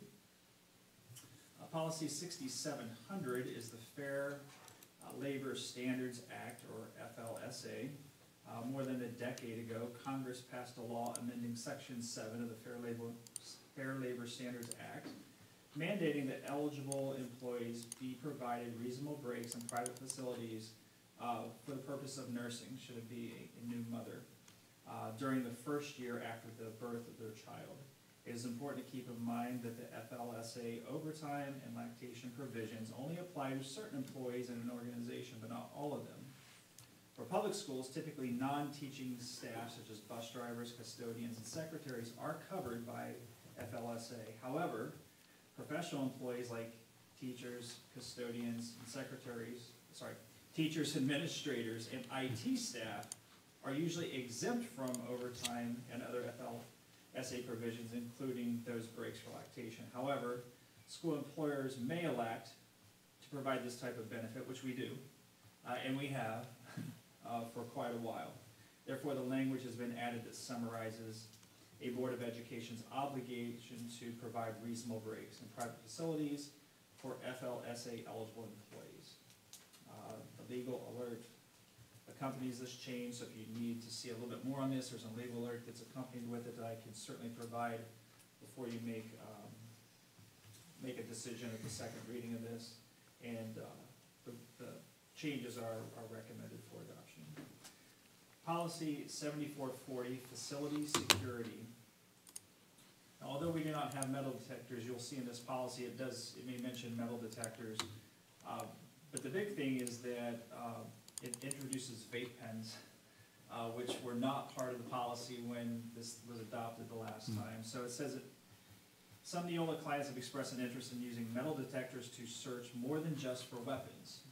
Uh, In particular, some school districts want to use metal detectors to alert their staff if a student is carrying a vape pen or other vaping-related uh, equipment devices. In response to these inquiries, Neola adopted optional revisions to the identified document to allow the use of metal detectors to alert school staff, um, students in possession of these unauthorized objects. So basically what this says is the vape pen falls under a non-authorized object now, and that's the biggest change for us. We don't have metal detectors in schools, but it does say that something like a vape pen is, is basically a, a banned, um, object to have in the school. So you're saying that if someone were to find, detect one of these vape pens on a student, irregardless that we don't have metal detectors, it still would be, It's a violation of student conduct code.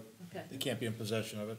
okay, This is just saying that if you had a metal detector, you could use it to, to to, find to, that. to track for them, and actually, I- that, that's, this law, while it's changed now, is already antiquated, because there's some districts in the county that are, that are, are trying to use vape sensors, and I'm kinda waiting to hear, we as we just talked, what their luck with that is, because, uh, Mr. Young can tell you, vaping is, it's, it's not, it's not like a kid having a cigarette in the, in the stall, there's, there's no scent, there's no smoke, there's no, so when, you know, if they were relatively smart about it, it's a lot more difficult to detect. And there are some vape detectors that are, are ceiling mounted that's, like Berea's using some right now, and I'm, I'm kinda waiting to hear from Tracy if they're having any luck with them or not, It's interesting. so. Yeah, my brother's a principal in Southern Ohio, and he had luck with them for a while until the kids figured out how to beat the system, so. It's the It's isn't always a game, right? It's always a game. Always a way. Um, so policy seventy-four forty point zero three, uh, involves small unmanned aircraft systems. It's the Matt Hartman This policy. is- Yeah, the Matt policy, this, uh, yeah, drones are the biggest things here, so, um, this would be new for us. Uh, the policy has been updated to incorporate changes in federal regulations pertaining to the operation of drones at night, uh, or over people in general, hovering over people. So the proposed revision to the policy adds the new federal regulation citation, uh, to the policy. If, in reviewing the policy template, a change to the current policy would be considered a revision. This, this doesn't even make sense what they put here. Basically, we don't have a drone policy, so, this allows us to either A, say that the Board of Education does not permit any drones on school property at all, or option B, that we can have them, however, that you must, it must be somebody that is an approved person. So, for example, Matt Hartman, uh, has used the drone technology to take various videos of students at special occasions. Um, If you permit that, then we can do that, but we do have to follow federal regulations in doing so. So that's what that policy says. So if someone came to us and said, we wanna have, um, you know, Friday night football game, uh, video from a drone, Yeah, it's senior night, I wanna fly my own drone over top of the field so I can catch my kid. Yeah. Senior Well- night, they can't do that without our Approval. approval. And first, and they also have to have it in, in Cuyahoga Heights, they also have the village's permission, because the village has, the village has laws that prevent drones from being used, so uh, Mayor Bacci is, kindly lets us use ours, uh, here, but they would have to, there's, that's- that's kind of twofold if they want to do that, and actually it arose out of people flying drones over top of practice field to spy on people when they were practicing for Right. events, so it's, it's, it's really Yeah, gotten there's good- silly, so. There's good and bad, you know, I, So- you see it in someone that would wanna, you know, capture a special moment, you know, even graduation or something like that. And then, you know, what about like creepers that just wanna like, That's why we, we've got our, Kids we, or we, something. you know, we, we do our own drone footage, Matt edits it, Matt looks through it, he posts stuff on the, he, on the website that's, that's appropriate, and we've used it for different, we use it when the, with the Halloween walk, uh, we, we have really good pictures, so, you know, we, we try and use it to our advantage, but, and actually, we've talked to, talked to the mayor about, about working with the, the village on some of the vacant properties, uh, doing some, uh, drone footage for the village as they try to help some of these places reoccupy some vacant occupancies where you can show the building from up above and also show its proximity to Route seventy-seven and, and how close they are to transportation. So just do some cooperative work with the, with the village, since we have the drone and it didn't make any sense that they didn't need to own one, we didn't need to own a, a separate one if we could do some things together. Let us come down right at the, uh, the, uh, the, the Fall Fest in October, right, the Corn, the Corn Fest? cornrows, maintenance, using it to check the roof sometimes, you Yeah. don't wanna go up it, like, there's a lot of uses. Yeah, so it's, I mean, obviously, good, good uses, but there's Yeah. also a possibility, and that's why it would be good that they'd have to have clearance by someone before they hover around our area. Exactly. policy eighty-two-ten is a school calendar policy. Um, School calendar policy has been updated to include an option for districts to approve a school calendar either annually or biannually, which we choose annually, that's consistent with current policy. Provision, uh, or the previous version of the policy included only, uh, an annual approval, although many boards approve calendars every two years, all right, so you, we could do it biannually, but we do it annually.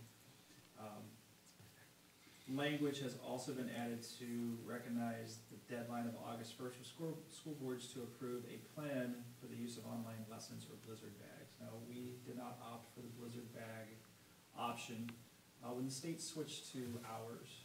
So the high school has the most hours, thousand and one hours is a year of instruction. Um, Not counting lunch, we have a six and a half hour learning day. If you divide that into a thousand and one hours, it comes out to, into the low one fifties. I can't, I think it's like one fifty-two or one fifty-four. We're in session nearly hundred and eighty days.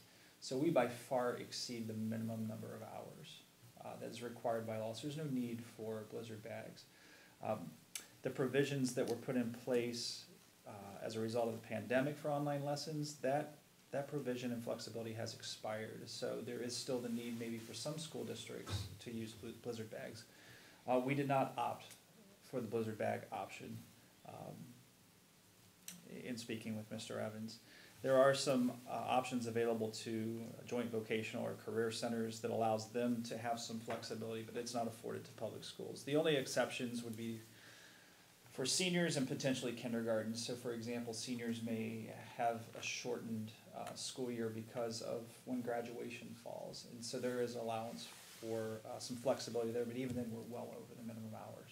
It's, it's really, Mr. Evans could call off a month of school for, for calamity days.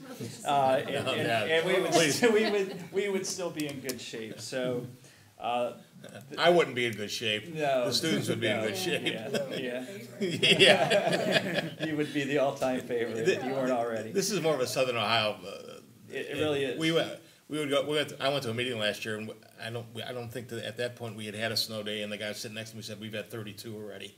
So it's, different parts of the state. It gets cold. Well, and they, they don't, they just don't handle it well. I can tell you, I, I, I lived in Cincinnati for a year and I literally drove to school and was getting ready to start class and all of a sudden I realized that no one was in the building and I, I said to the custodian, well, like, where's everybody at? He goes, that's right, you're from Cleveland. This is a snow day in Cincinnati. And it was like, it, it's just different. They just, they, they, they react differently. You get down to some hilly parts of the state where they don't, they don't uh, treat the roads a lot. I, I grew up in south, southern and southeast Ohio, and so you have a lot of two-lane roads in the foothills of the Appalachian Mountains, and you get more ice in that part of the state, quite honestly. You don't get a lot of snow anymore, but you get ice.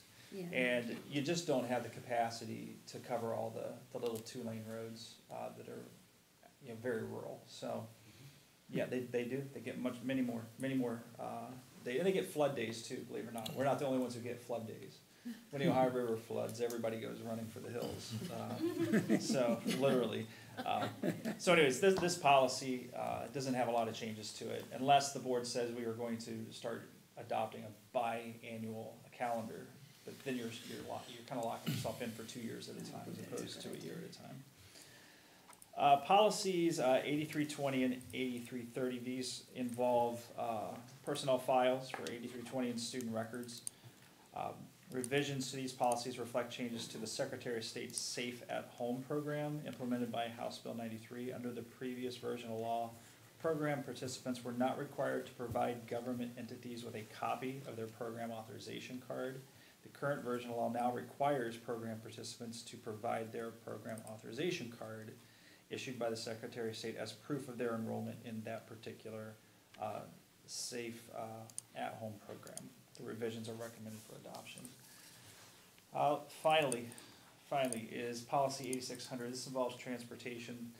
Um, Transportation has uh, undergone a major overhaul with respect to policy um, because of House Bill one-ten, which uh, contains several significant changes for school transportation, and this policy is being updated accordingly. These revisions provide additional clarification and direction for districts as the Ohio Department of Education's guidance has been issued over the past several months. And as in 2021, 2022, there was a phase-in process for notification requirements, and what they mean by that is, we're required to notify much earlier um, of our intent to provide students transportation should they attend a non-public school. We do not provide transportation for non-public school because of our small size, limited fleet, limited number of employees. Instead, we opt for the in lieu of transportation option, which you adopt annually. We're going to have to adopt that sooner than August. It's gonna have to be done much earlier in the year. And the costs of in lieu of transportation is going up significantly. I don't know what that number is, but it, it's. Five, something, thirty, five thirty-five or five, five thirty, more than doubled. Yeah, it's more than doubled, and again, that's, it's not uncommon to see legislation that's, uh, almost penalizing, uh, public schools. Um, so for, s- so for children who go to private schools, St. Ed's or St. Ignatius, uh, this is, we will, we pay for their parents to drive them to school, and, and those notifications were much, much earlier. Here, here's a sobering timeline. fact for you. So the payment in lieu is almost the uh, amount that the state gives us on a per pupil through the funding formula. Yeah. It's within about forty dollars. And we're paying the families or we pay the? We pay the fam, Families. pays the family. Yeah. So now everything is in full effect, now that we're into the 22-23 school year, and this policy uh, reflects all the current law with respect to changes to transportation. So uh, it's recommended to be adopted uh, for accurate policies. If there's any additional information, or if you'd like the, the uh, manuscript of what I just read, I can certainly provide that to you at any time over the course of the next month, or anybody else who asks. Great. Thank you. Very good, thank you, Mr. Young, Thank you. appreciate it. Item fifteen, board committee reports, comments. Um, I guess what I'd like to do is just poll the board members to see what uh, their availability is next week for at least one special meeting, depending on the number of candidates. Uh, Any thoughts as to how you'd like to proceed? Mr. Evans had, uh, had suggested uh, perhaps next Monday evening. Yeah, well, that might be too early. Do we need forty-eight hours? Well, that's where we need to coordinate with Mr. Muccio, who would need to publish notice. If we were gonna do something next Monday evening, when was the latest that would have to be published, do you recall? Um, I think it's forty-eight hours, so I think we can post it, I mean, I can post it tomorrow, Thursday, so I can get that done Thursday. So if you, if, But we have to invite, what? We also Do need to we- coordinate with the individuals and Right. kind of close that process out and then move to the next step, which is notifying people and asking, assuming, asking them to be able to come in for a, I presume for an interview. right, so that's, that's what I'm trying to get at. So our first meeting is we'll sit down, go over the Mhm. applicants that we have Mhm. and make a decision on who we want to talk to. Mhm. And then we'd have a second meeting after that. Is that what you're thinking? I'm, I'm open to ideas, I'll put it that way, because I, the last time when we, I went through this, I was kind of in the periphery, I wasn't, uh, in leadership, and you've got more experience than I do in this, so I'm, I'm open to how we did this in the past to make it easiest on everyone involved. There were evening meetings, They were, right? yeah, and we had interviews, but I didn't recall that we had initially done a, a- a s- s- kind of a Screening screening ahead of of, time. of Either applications. that or we could, we might have interviewed everyone, I don't I- remember. I- I, I think we did. We did did? Quite it. honestly, I think we interviewed everybody? I think anybody that applied, and I know we did. Okay, Oh, Okay. I, I, cause one And candidate if that's sticks the out. case, I don't, I think Monday off, might be awfully soon. We don't, when's the deadline for that they have to have the application in? Friday. Friday, Friday. Friday at four. Yeah. right, I, will- I will only say that Thursday is probably a day not, in my case, don't, because I'm having that procedure. of course. Yeah. of And I course. don't that's know why how I it'll be this. at six or seven o'clock at night. Yeah. No, That's why I asked this, and even if Friday, well, I'm not suggesting Friday, but, so, uh, maybe we could uh, pencil in, say, next Tuesday and Wednesday? And if we, I, I don't know how many applications we're gonna get, but I assume that we want to budget a certain amount of time for each person At least a half to have an interview, and that necessarily, if you're talking, if you're talking ten, I'm just saying ten people, if you have ten applicants, uh, fifteen minutes apiece, that's hundred and fifty Yeah, minutes, that's, uh, Fifteen, to twenty that's- minutes, that- yeah. Plus, there's no time for really deliberation for the board then, so you almost need two evenings of, of interview slash, uh, conversations. Right. What's- What, what's the our- rest of the group think? What's our thirty day mark? What's like our, we have to have somebody by, The 21st nineteenth, is it, of uh, Nineteenth or November? the twenty-first, or? So I think we have time, but then we do have the capital conference that is in between that. right, right. Right. So do we, if we wanna narrow it down, does it have to be a group decision, or can we appoint some people to say, you, you guys narrow down and decide who to invite? I don't know. I think it's free form. I think we could decide to, to appoint a committee, so to speak, to do just that, if we choose to. Uh, Or it could be the, the four of us. I'm, I'm, whatever the group Think- wants to do, I'm open to. It. Just a reminder, Tuesday's an lean toward election day, of yeah. Oh, so, yeah, Oh, that's Tuesday's right. good. Tuesday's election day, so I, Oh, that- I calendars don't get know. chewed up pretty quickly here. Uh, Yeah. People may or may not be available, I don't know. Yeah, no, I wouldn't, uh, expect anybody to come in on election day, Well, so. Well, Wednesday's the and night and we the normally election's meet. over, the election of voting is over at seven thirty. Yeah, if you're after work and then you're running to the voting Yeah. booth, and then you're That's- running here. right, that's I- not So do we wanna just pencil in, say, next Wednesday evening as, as a meeting? Well, again, unless we wanna assign two people to do this, we could meet the four of us and, and go, and, and, well, I guess if we're gonna do interviews, we need to, uh, get to it, Yeah, so, um, Yeah, it feels like. that. yeah, I, I guess I'm beginning to And I understand don't the mean to say concern this now. either, but Friday is Veterans Day. And yeah, that, okay. I don't know if that creates a conflict. Is, So, is school in session on the eleventh? Not the element, Just the middle school, high school. Middle school, high school, elementary is not. Veterans Day for um, it's Records Day. Okay, so you guys are here anyway, mostly. It's just difficult to do meetings on Friday nights. Yes, So, I do agree with that. That's, that's the- my only concern about Friday. I'd rather go with election night. Really, me too. so the ni- so the nineteenth of the month, which I think is the thirtieth day, is a Saturday. So that means we would probably need to have something de- concluded by the eighteenth, Friday the eighteenth, which basically means Thursday the seventeenth. We've got Capital Conference Thursday, Sunday, the thirteenth through the fifteenth. So We have that school kind board of, on the sixteenth. that kind of leaves the ninth. What, it- what's, tenth. why, yeah, Well, why no, don't you 10th, do not for eighth, you. and- what about the eighth and the ninth? They- We just said the eighth is election The day. eighth is I know, election but day. is that, is that? Well, we could, I mean, we, c- we can Because do if- whatever we Well, I'm want, so to saying, speak, as there's, long as we're it's fair. gonna have to be two days. I, And, I think. right, and so you would pose it to the people who are applying. Perhaps they can do one, like, Mhm, mhm. maybe their Tuesday is available, their evening Mhm. would be available. Correct. And then if we give them the option, Mhm. Tuesday or Wednesday. I realize it is election day, she makes a good point, but I Yeah, feel the- like we have to try to, The Get following it week done. really is, is, we're somewhat hamstrung because we're gonna be, Yeah. we're gonna be We're in gonna Columbus. be away. Then there's a board meeting, and then that's Thursday, and then, as I Friday. see it, Friday by the calendar is the last day to act. right, And we, we say we don't wanna meet on a Friday.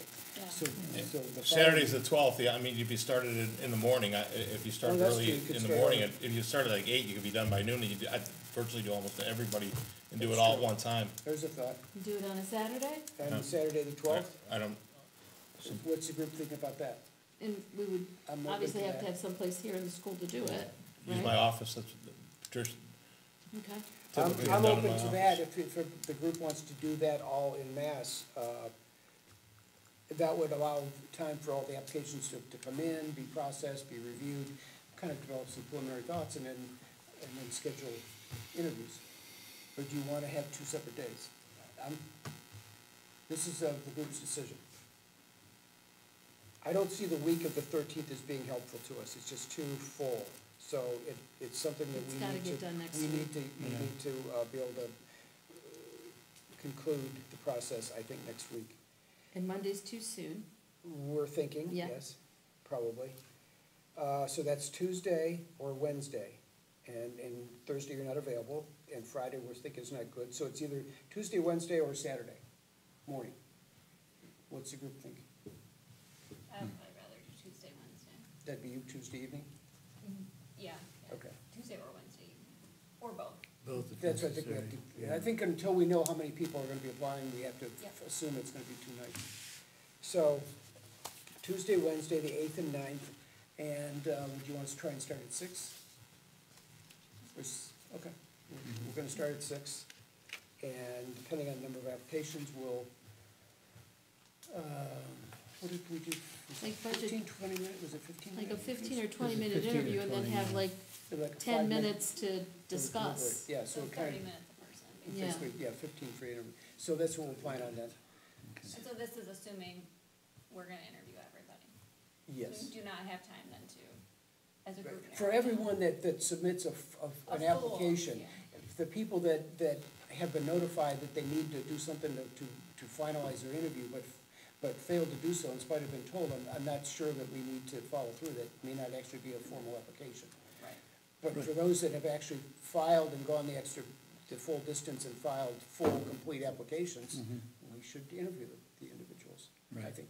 Yeah, So, until we know how many that's gonna be, we probably should plan on two nights, next Tuesday and Wednesday night, start at six, and fifteen-minute interviews, 15 10, 15 minutes to deliberate, next person. and we probably need about, we should probably plan about a, the first half hour to sit down and say, Mhm. okay, here's the list of questions we're gonna use. Right. The order we're gonna, because that's typically what we, we do is we make up a list of questions, then we each take turns answering. And I'm searching for Asking. some previous questions, but I don't know that Sandy had them in her files, quite honestly, because I don't know. Yeah, I that- might have it, I just haven't looked yet. I, I I know I don't have anything, and the only, if Sandy had it, it got, it, it got, it carried over to Tracy, and, and, uh, hey, Tracy started looking today to, uh, to see if there's anything. A lot of cleaning happened between those two. Yes. Okay, so then we're, I should have that. I think what I'm hearing the group say is that we're in agreement that next Tuesday and Wednesday evenings, uh, depending on number of applicants, if, if, if it's something less than, if it's five or less, we can probably do it in one evening. You've got four that are completed right there, there's five more in there that are not submitted yet, so. Okay, so, basically say ten, so, uh, five each evening. Yeah. Uh, That's gonna be two long evenings, but we'll start at six and we'll go from there. So, Mr. Muccio, you can notice that? Thank you. And we'll meet in Mr. Evans' office? Yes. Good? Yeah, that's the best Okay. place to do it. Very good. All right, is there any further discussion of this by the board Well, members? once we've got this done, I'll, we'll make the calls from my office and schedule them in the time slots. I'll do a Google Okay. doc, and then I'll share with everybody who's in what time slot. Good. And I'll allow you time in the beginning and then time at the end for deliberation. Yes. Uh, and, uh, um, and then I'll, we'll also receive instructions to enter the outer office and have a seat, uh, and, and wait in the outer office, uh, Tracy's office out there. Right. Uh, So we'll have, and we'll have water, and we'll, we'll take care of all the prep stuff for you folks. Great, I appreciate that. Thank you very much. Thank you. Thank you. Okay, um, with that background, are there any future agenda items? Um, I just noted that we're going to be attending the Capital Conference the week after, which will consume some time. Um, There's no other agenda items, then we can move to agenda information, seventeen A. It should be noted the Board of Education members received their agendas several days prior to the actual meeting, thus they've had considerable opportunity to study and ask questions, etc. Upcoming board meetings, item seventeen B. Board meetings, uh, November sixteenth, twenty twenty-two, a regular meeting at seven P M. December seventh, twenty twenty-two, a work session at six P M. And we've just previously talked about scheduling special meetings next week, Tuesday and Wednesday evenings at- to start at six. With that background, I'm going to move to agenda item eighteen, which is a motion. I hereby move that the board adjourn to executive session pursuant to O R C section one twenty-one point two-two G one for the purpose of considering the evaluation, employment, and/or compensation of employees and/or officials of the school district. May I have a second? Second? Oh, Mrs. Etter seconds. Uh, let's move to a vote, please. Mr. Dobbins. Aye. Mrs. Etter. Aye. Ms. Prowse. Aye. Mr. Souchaki. Aye. Motion passes four zero. It is eight oh nine PM. We are in executive session and no action will be taken afterwards. Thank you.